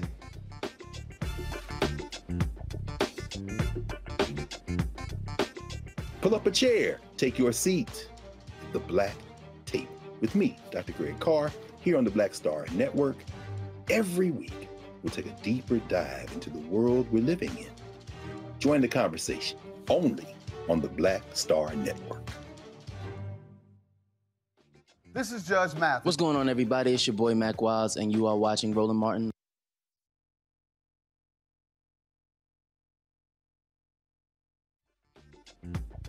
Unfiltered. All right, y'all. Today, the House Financial Services Committee Subcommittee uh, on Oversight, folks, and Investigations, uh, they held a hearing called "An Enduring Legacy: The Role of Financial Institutions in the Horrors of Slavery and the Need for Atonement" to examine the role of financial institutions in the practice of slavery in the United States. Reverend Mark Thompson, the senior advisor at the Institute for Politics, Policy, and History, the host of Make It Plain, joined us from Martinsburg, West Virginia. So, Mark, uh, first of all, y'all got video of the uh, hearing? We, ain't got no video to hear. How, how, so how we talking about what took place in the hearing? Well, well, in, in fairness, Roland, to, to you, Mark, go ahead. Fairness, well, no, no. In fairness, fairness to your team, the hearing had started. It it lasted for about twenty minutes, and then they had a three-hour recess. Um, and so it wasn't much of a hearing, and it didn't last very long. And thank you uh, for having me. But a few things. But that, but, but, but you did say they had twenty minutes, right? Yeah, but it was it was all you know opening statements. So yeah, all don't, right. be, don't be don't be too All hard on you. I know you're trying to bail them out, but it ain't working. it ain't working. Y'all should have had at least. Y'all could have had at least uh, 60 seconds from a 20 minute hearing. But go right ahead, Mark. So tell us what happened in the hearing, since we ain't got no video.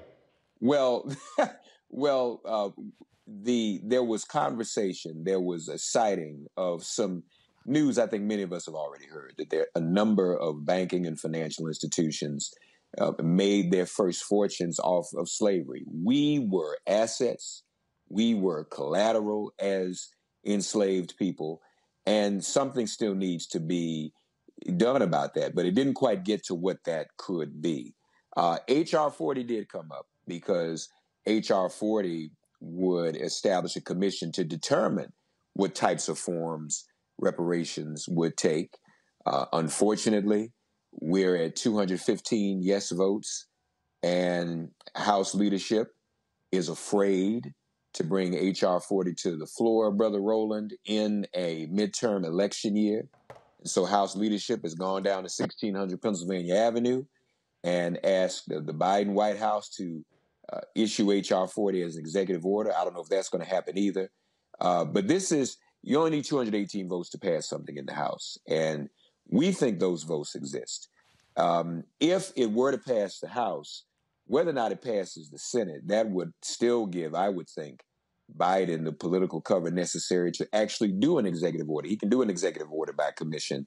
Can't do George Floyd Policing Act. You can't do voting rights by executive order, but you can do a commission to study and determine what forms reparations would take. And these banks, these financial institutions, have to also be a part of that because many of them, J.P. Morgan got started off of the slave trade. Wall Street, the first commodities on Wall Street were our ancestors. That's why it's called Wall Street. Our ancestors built a wall so as not to offend the sensibility of lower Manhattan's white and, and Dutch residents when the auctions were taking place. That's why it's called Wall Street.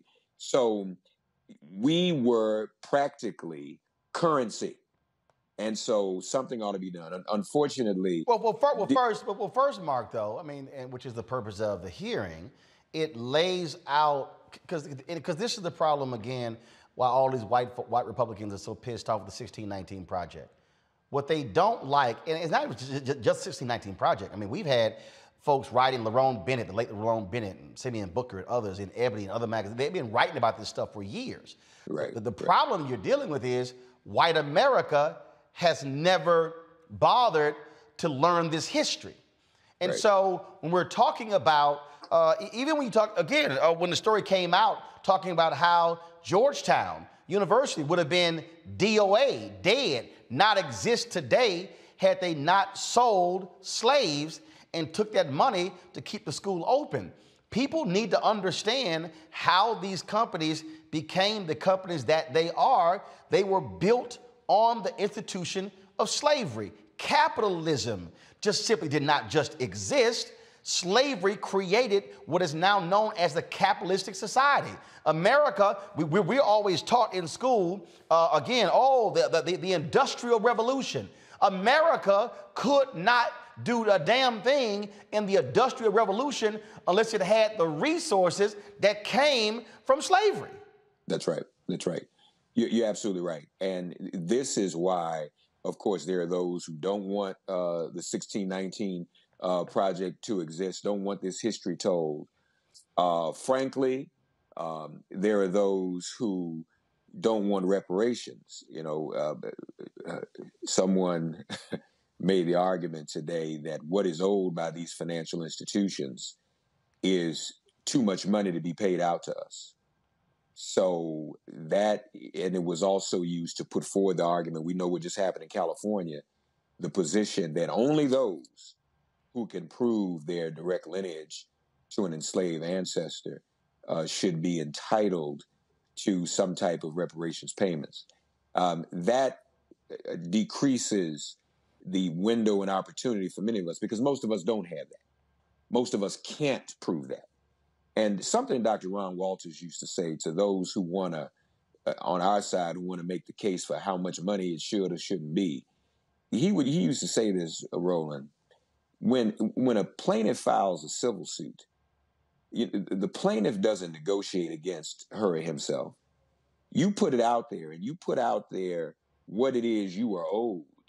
You don't act on behalf of the defendant and say, "Well, we know you can't afford that anyway." So we're going to minimize the amount of the payment that can be made. We know that there are probably trillions of dollars owed us on the part of these financial institutions. We should not give up or relinquish any effort to get as much as as much of, if not all, of that money, and whether it comes in the form of direct payments to to those of us who are descendants of enslaved people, or whether it comes in the form of investment in our institutions today, long term investments, or both, we should not be cutting off any of that or letting any of them off the hook. Well, bottom line is this here. Um, you know, when you talk about uh, the information, it's the knowledge. Uh, that's what matters. That's what's critical matters. And so, uh, hopefully, uh, so you said they recess. Did they ever come back to the committee? No, no, I, I think it's done. Um, uh, and I don't know what happened. It must have been some other business on the Hill, and they didn't get through it. So I have to find out whether they're going to do follow up. But Congresswoman Waters and Congressman Al Green led the hearing. It was a joint committee hearing, and they did bring up HR 40. Um, and hopefully we can we can move that because at the end of the day, that commission would take all of this and study it and have hearings in our communities to get input from us, the community, us as African Americans, uh, as to you know what can be done, what should be done. So that's really where we ought to go. And frankly, um, I don't think we should give up on pressing uh, the House. This would be an historic vote, no matter what happens in the Senate, um, to to pass the first and only reparations bill in the history of this country would be significant to pass, and I think it would really force uh, the Democratic president's hand to go ahead and appoint this commission and get it up and running and stand it up while he's still in office. The commission really had in the legislation is actually only supposed to exist for about two years anyway. Got it. All right. Mark, I appreciate it. Thanks a lot. Thank you, brother. All right, I folks. I want I want my top back too. Huh? No, you can't. I, I, let, they let you, you borrow, you ain't you get this one, Doc. You can't get this one. Sorry. No, that's that's it's mine. I'll let you borrow it. Oh, really? Oh, okay. So, so I, FedEx, I, don't, I don't know what. I FedEx me that back after the show. I, I don't know. I don't know what world you talking about. So, uh, hey, Roland, you got a minute for me to tell you why I'm in West Virginia, real uh, quick? Yeah, the Poor People's Campaign. Yeah, and and folks, let me just say this real quick. Folks focusing on the Ukraine. Let me tell you what I found out today. There's an an, an industrial plant here that is billowing smoke within the proximity of five schools in in in Martinsburg in this area, and we're marching there tomorrow.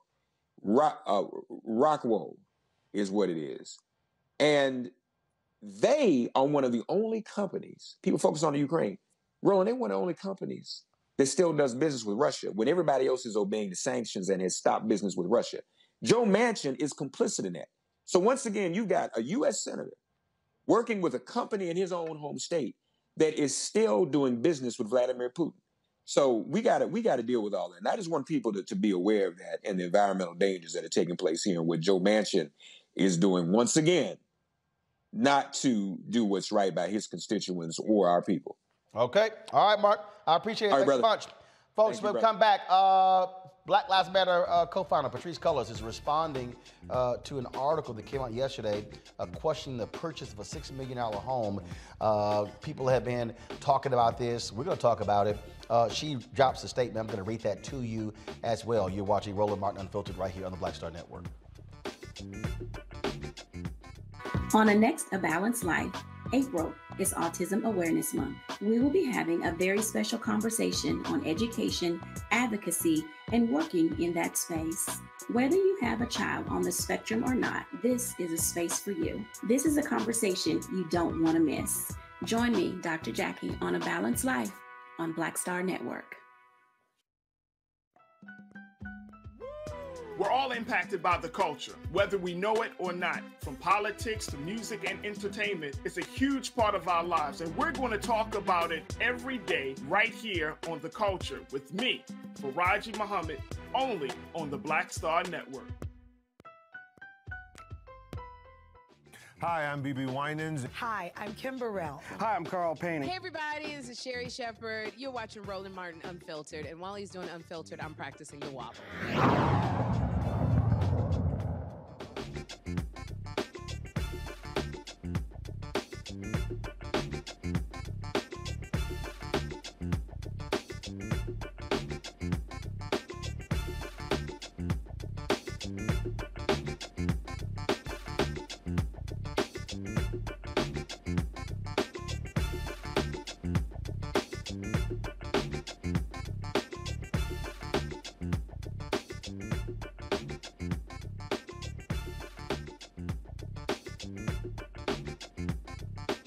All right, folks. Um, yesterday, uh, the folks at New York Magazine dropped this story that conservative media has been pushing all around. It says Black Lives Matter has secretly bought a $6 million house. Allies and critics alike have questioned where the organization's money has gone. It's written by a Sean Campbell. In the article, uh, they talk about uh, this particular home uh, and they say uh, how it was purchased uh, and uh, all those different things along those lines. And so it's a 6,500 square foot home, more than a half dozen bedrooms, bathrooms, several fireplaces, a sound stage, a pool in the bungalow, uh, and parking for more than 20 people. Uh, and it was purchased for nearly $6 million in cash in October 2020 uh, with money that had been donated to Black Lives Matter uh, GNF, the Global Network Foundation. Now, one of the things that conservative media has been focused on, and uh, and you've had a lot of back and forth, a lot of attacks and things going on, people demanding where did the money go, questioning things along those lines. Well, uh, Patrisse Cullors actually uh, responded. She posted this on her Instagram page. So I want to read this. She said, yesterday's article in New York Magazine is a despicable abuse of a platform that's intended to provide truthful information to the public. Journalism is supposed to be to mitigate harm and inform our communities. Um, um, the, that fact that a reputable publication would allow a reporter with a proven and very public bias against me and other black leaders to write a piece filled with misinformation, innuendo, and incendiary opinions is disheartening and unacceptable. To clarify again, the property the reporter addressed was purchased in 2020 as a space where those within the Black Lives Matter Global Network Foundation and broader movement community could work, create content, host meetings, and foster creativity. Although I cannot speak to how BLM GNF uses the property currently as I left the organization last year in May, it was purchased to be a safe space for black people in the community. The reason it wasn't announced prior is not nefarious as the headline infers, the property needed repairs and renovation. I do not own the property. I have never lived there and made that clear to the reporter. I want to be clear. While I will always see myself as a part of the BLM community, I am no longer in leadership and I am not a part of any decision making processes within the foundation. I have never misappropriated funds, and it pains me that so many people have accepted that narrative without the presence of tangible truth or facts. Nevertheless, this will soon be made clear upon the release of the BLM 990s. To those within our movement and others who have looked to me for leadership, I'm sorry you have consistently had to engage with this kind of hateful and erroneous content. I admittedly have not always responded, and I know my silence has contributed to doubt. I apologize if it has caused um, you harm or of any kind, but I'm asking you all to understand the enormous pressure and fear that comes with living under the constant threat of white supremacist terror and real threats on my life and those of people I love. But I'm no longer letting fear hold me back from calling out these attacks. What's happening to me and to our movement is both racist and sexist. This is bigger than me. It's about a long history of attacking black people and black women specifically, creating unsafe conditions for us and our families, scrutinizing our every move publicly and privately in ways that are unfair and unjust. It's dangerous, and we should all be trying to stop it, interrupt it, protest it. Still, we have to remember that we're a part of a legacy of freedom fighters, and that comes with the hardest of moments as well as many victorious days. Elders in the movement, whose name we now chant, were at times named enemies of the state, were shunned by the communities and attacked viciously without, without relent by the opposition. I have spent the last 22 years of my life in service to black people and others suffering under the weight of oppression. I'm privileged to have led work that resulted in successful ballot measures. We've stopped jails from being constructed and created civilian oversight, the largest sheriff's department in the world, LA County. We've supported families against sheriff's violence and police violence. We built community gardens and so much more. However, the conditions of our people still require more, more money, more time, more care resources, and we should, can, and will do more. I understand some of the concerns and critiques coming from within and outside our movement. No community organizer is above criticism. In fact, I'm grateful for it, especially, uh, um, uh, uh, first of all, no community organizer is above criticism. In fact, I am grateful for it, especially when it's about helping people do and be better. But what has happened to me is not about accountability or healing, it's about destroying my life and destroying a powerful mo- uh, movement. Despite all of this, I will continue fighting for my people, and our movement will continue on. They can't kill it. We are still winning and will continue to win, but we're also still learning and growing. I'm still learning and growing, and I'm asking you all, my community, for a measure of grace, yours in loves and service, Patrisse. So here's what I think is here's what I think is is, is happening here, folks. That's a problem, and, and, this is I want, to, want the panel to deal with this here because I think it's important, um, and, and and that is there are several tentacles, if you will, to the Black Lives Matter movement. You have the grassroots piece, you've got the piece that deals with chapters, you've got the foundation, you've got all of this. So here's the first thing that comes out, and, and, and I have been saying this. First, if Patrisse left in May of 2021, so right now, who is the leader of the Black Lives Matter Global Network Foundation? That person should be speaking. That person should be leading. Who is he? Why isn't he out here? You also should have, and I've said this to Patrisse and others. Remember when I had Patrisse on the show and she was she was she was telling me like all these different parts, I was confused. I think part of the problem here, Teresa, a huge part of this is communication. And that is getting people to understand the multiple pieces that make up black the, the so-called Black Lives Matter movement. The problem, matter of fact, it happened, it happened, there was a news story. There were some activists in Boston who were indicted for misuse of funds. The headline said BLM activists.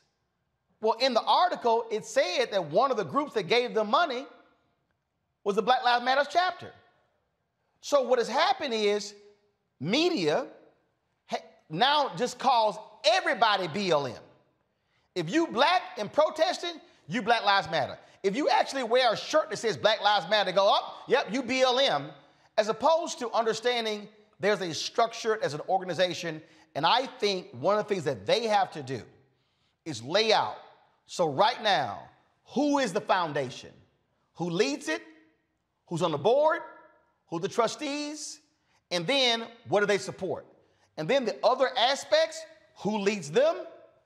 Who's over it? What do they do? What are they involved in? It can't just sort of be, it's all lumped in together. You're absolutely right because um, Black Lives Matter has been in uh, the news for a whole ton of scrutiny, right? And it's unfortunate because the movement, once scrutiny happens, you know, public opinion also comes into uh, to also discourage other individuals who want to support the movement.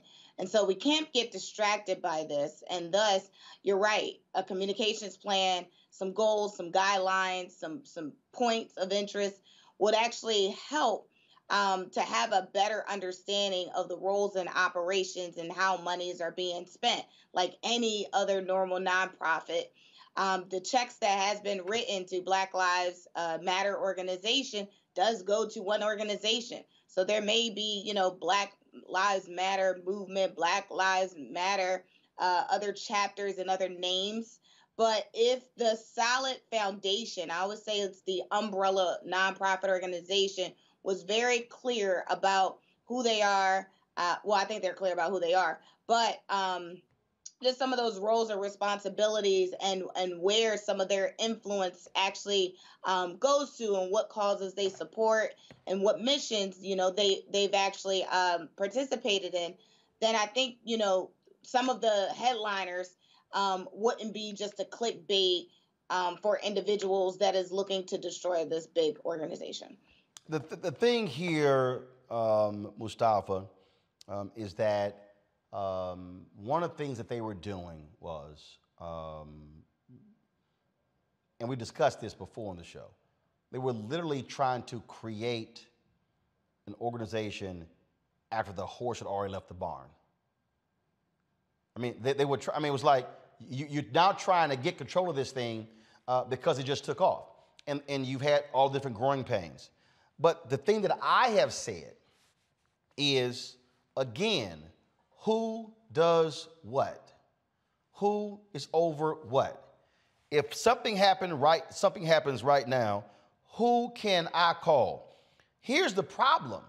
The problem is if you're asking right now, um, so so here's this this story right here. Um, in an email statement on April 1st, uh, do y'all, y'all still seeing this here? No, you're not. Um, let me see if I can pull it back on. Uh, give me one second. Set the screen mirroring. Uh, see if I can pull it back up. Uh, you still should be okay. This is this is this article from the, from uh, New York. In an email statement on April 1st, Shalomyah Bowers, a BLM GNF board member, um, said the organization bought campus with the intention for it to serve as housing and studio space for recipients of the Black Joy Creators Fellowship. Okay, blah blah blah. All right. So here's the deal, Mustafa. I don't know who the hell Shalomyah Bowers is. I've never had Shalomyah Bowers on this show. I dare say to Shalomyah Bowers, you might want to come talk to black media so we even know who the hell you are. And then you're a board member.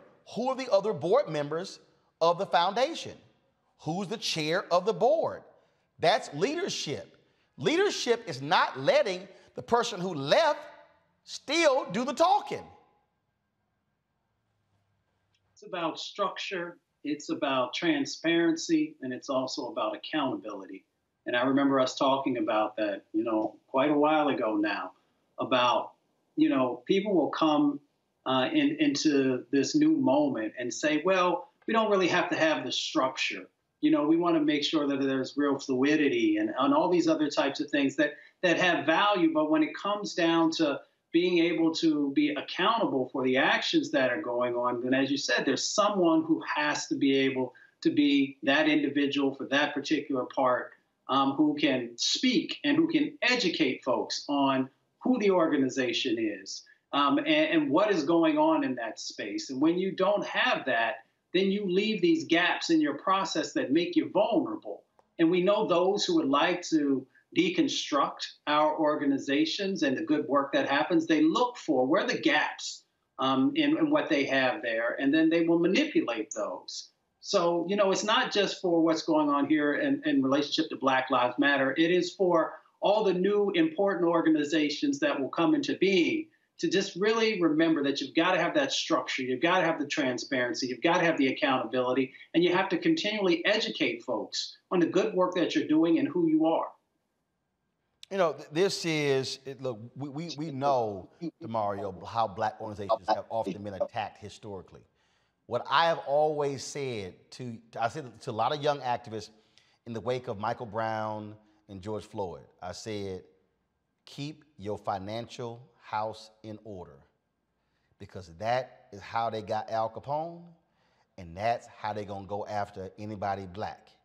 And so when they start raising questions about the money, that's what seeds, that's what sows seeds of discontent and causes even black folks to start questioning. And I need, also need to caution black people. Be very mindful of the sources that you're reading promoting information because you have to also understand some media outlets have an agenda themselves to take out BLM. Well, that's what I was going to say. Look, as a founder and executive director of a 501c uh, C3 nonprofit, I understand, as Mustafa stated, you need to be transparent, have accountability processes in place, and as they talked about, you know, filing your 990s, which ours are, you know, we're doing all of that. So I'm happy to know that we won't be in this situation. But we cannot forget what Malcolm X taught us. To paraphrase, that the media, particularly the white media, will have those who are who are our friends, have us hating those who are our friends and loving those who are our open enemy. So while this organization has some issues, maybe have some growing pains, I'm still skeptical anytime white media comes in to try to dis, um, disregard and bring ill repute on a black organization that is trying to push forward a narrative to stop people from killing us. At the end of the day, what the Black Lives Matter movement is about is the same what we all want on this show for police officers and the state, the government, because the police is just an arm of the government, shooting down our brothers and sisters in the street with impunity.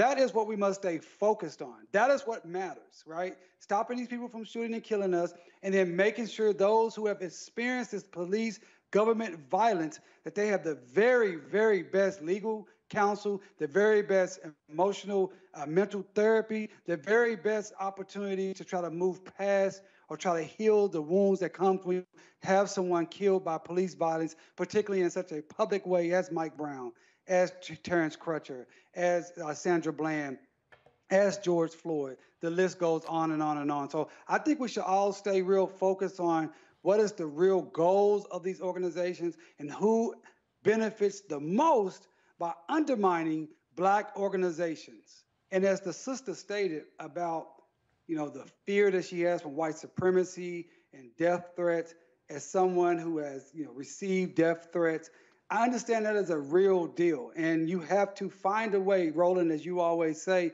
to not be scared, but it does not mean it's not a reality. So we have to keep all that in mind as we look at these stories coming from these so-called mainstream media outlets. Well, and again, I, have I've had look, we've had Melina Abdullah, who's over the grassroots portion of Black Lives Matter, on this show. We've had Patrisse Cullors on this show. We've had Alicia Garza, another co-founder who's no longer affiliated with BLM. But let me say this here: if you are a Black Lives Matter Global Network Foundation leader, you should be talking to black media.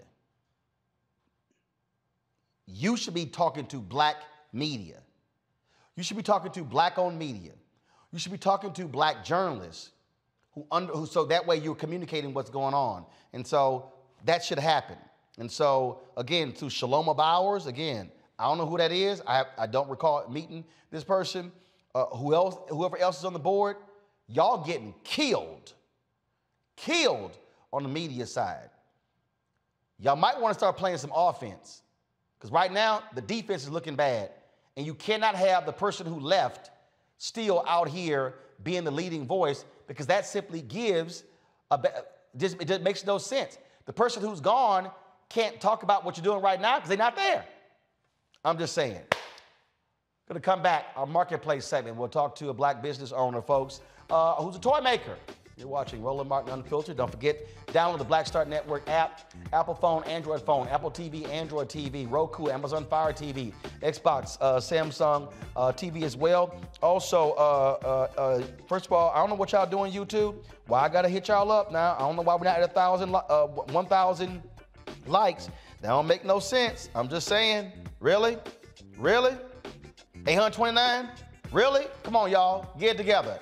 Also, join our uh, join our uh, fan club. Uh, send your check or money order, PO Box 57196, Washington D.C. 20037. Cash App dollar sign RM Unfiltered. PayPal is R Martin Unfiltered. Venmo RM Unfiltered. Zelle is rolling at rolandsmartin.com. Rolling at rolandmartinunfiltered.com. We'll be right back. On the next Get Wealthy, did you know that the majority of households headed by African American women don't own a single share of stock? No wonder the wealth gap continues to widen. Next on Get Wealthy, you're going to hear from a woman who decided to change that. Have been blessed um, with uh, good positions, uh, good pay. Um, but it wasn't until probably in the last couple of years that I really um, invested in myself to get knowledge about what I should be doing with that money and how to productively use it. Right here on Get Wealthy on Black Star Network. Now, did you ever want to do a soap opera? I did it before, Another World. I did it years ago. Uh-huh. With uh, Joe Morton, Morgan Freeman, called Another World. It's the funk now, but that's how I started in TV. You? My first job. You? My very first Joe, TV job. Joe Morton and Morgan Freeman were on a soap opera? Together. Yes, I know. Oh, I loved it. I played a prostitute. I was real raw. My name was Lily Mason. I was I was a hoe on Tuesday and I owned the town two weeks later. that's, that's how they do you. Right, that's how you know, opera. you evolve. Yeah. Right. So now I'm on this, but I, I'm rich right from Jump Street. so I'm loving it.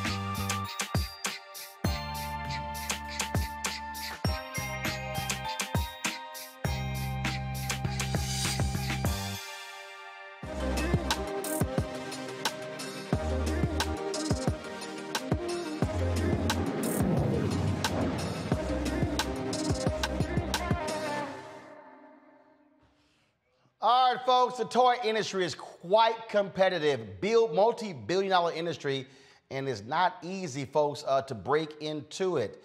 Uh, we talk about uh, what's going on. This black entrepreneur seeks to change the standard of beauty while adding to the representation of black people with her dolls. The Melanie Dolls changes the dynamics of how the world visualizes black beauty and how each black girl pictures themselves. Each doll comes with three things that can be found in all black women beauty, self love, and courage. Latrice Thomas, founder of the Melanie Dolls, joins us now from my hometown of Houston. How you doing? I'm doing well today. How are you doing? Doing great. All right, so tell us about uh, the Melanie Dolls. So first off, I, I do want to give a proper introduction. My name is Daytrice Thomas. Daytrice. Okay, gotcha. Yes. I'm 22 years old. I attend the University of Houston where I major in economics with a minor in technology and entrepreneurship. Uh, just a little more detail about the Melanie Dolls. It is a black doll company that I created not only to properly represent the black demographic, but to actually teach black girls how to feel exceptionally beautiful inside and out, how to gain self love, and how to develop courage. You know, ultimately fueling their potential to do anything they want in life. So, when did you start it? I started this about a year and a half ago. And why? What, what was there? Was there a cause? Was, was it a tipping point? What was the reason? There was a tipping point. The tipping point was uh, the Black Lives Matter movement when I saw the George Floyd incident, and then it kind of led me to reflect on the Breonna Taylor killing.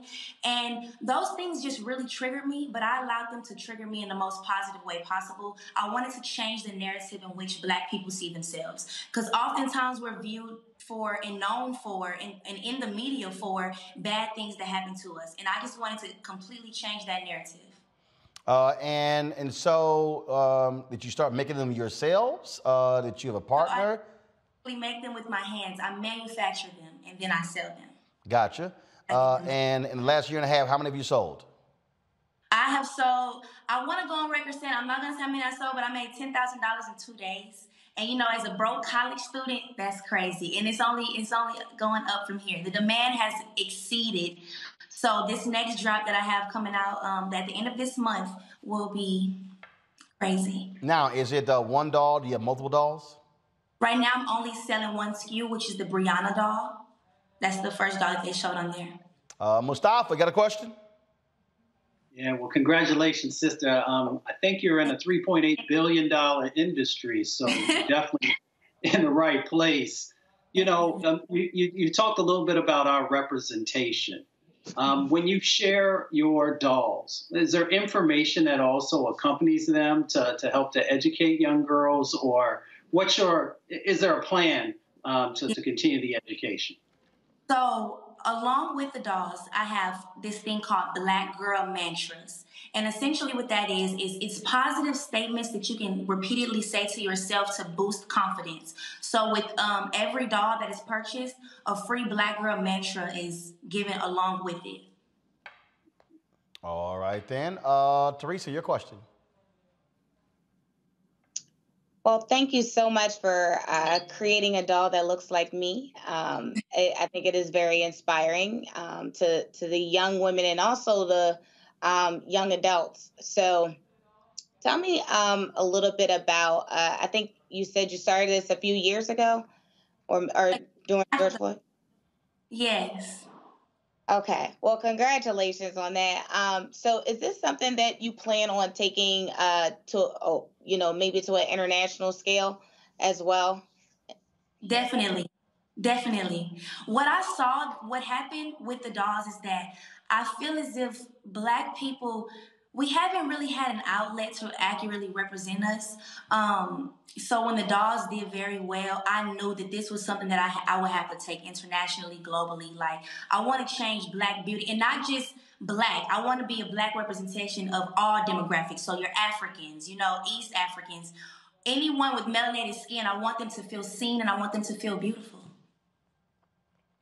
All right, so for, you got your website. Uh, you also are you on Instagram? Where can people reach you? Yes, I am.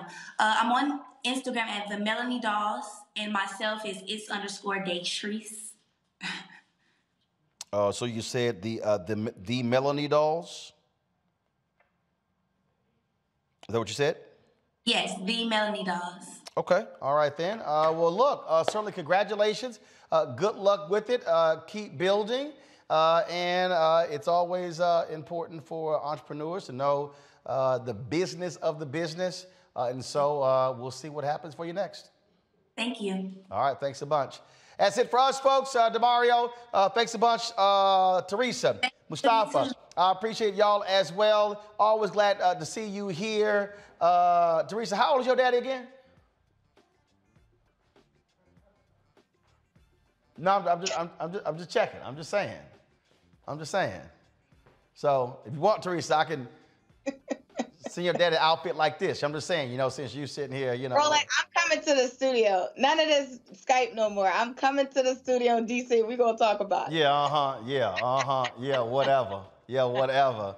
Uh, and of course, y'all, y'all know last week, uh, we, of course, in our marketplace segment, we talking about Rock Deep. Uh, I'm rocking uh, the Nagast uh, 1619 uh, shoes today. Y'all get a shot of these. Uh, so these are the ones that I'm rocking today. And so uh, Nagast we had them before in our marketplace segment. and so I decided to be a little bit more comfortable. and y'all, y'all getting a shot? What y'all, y'all? Take a step back. Okay, cool. All right, cool. All right, y'all getting a shot? I mean, we got 10 damn cameras in here.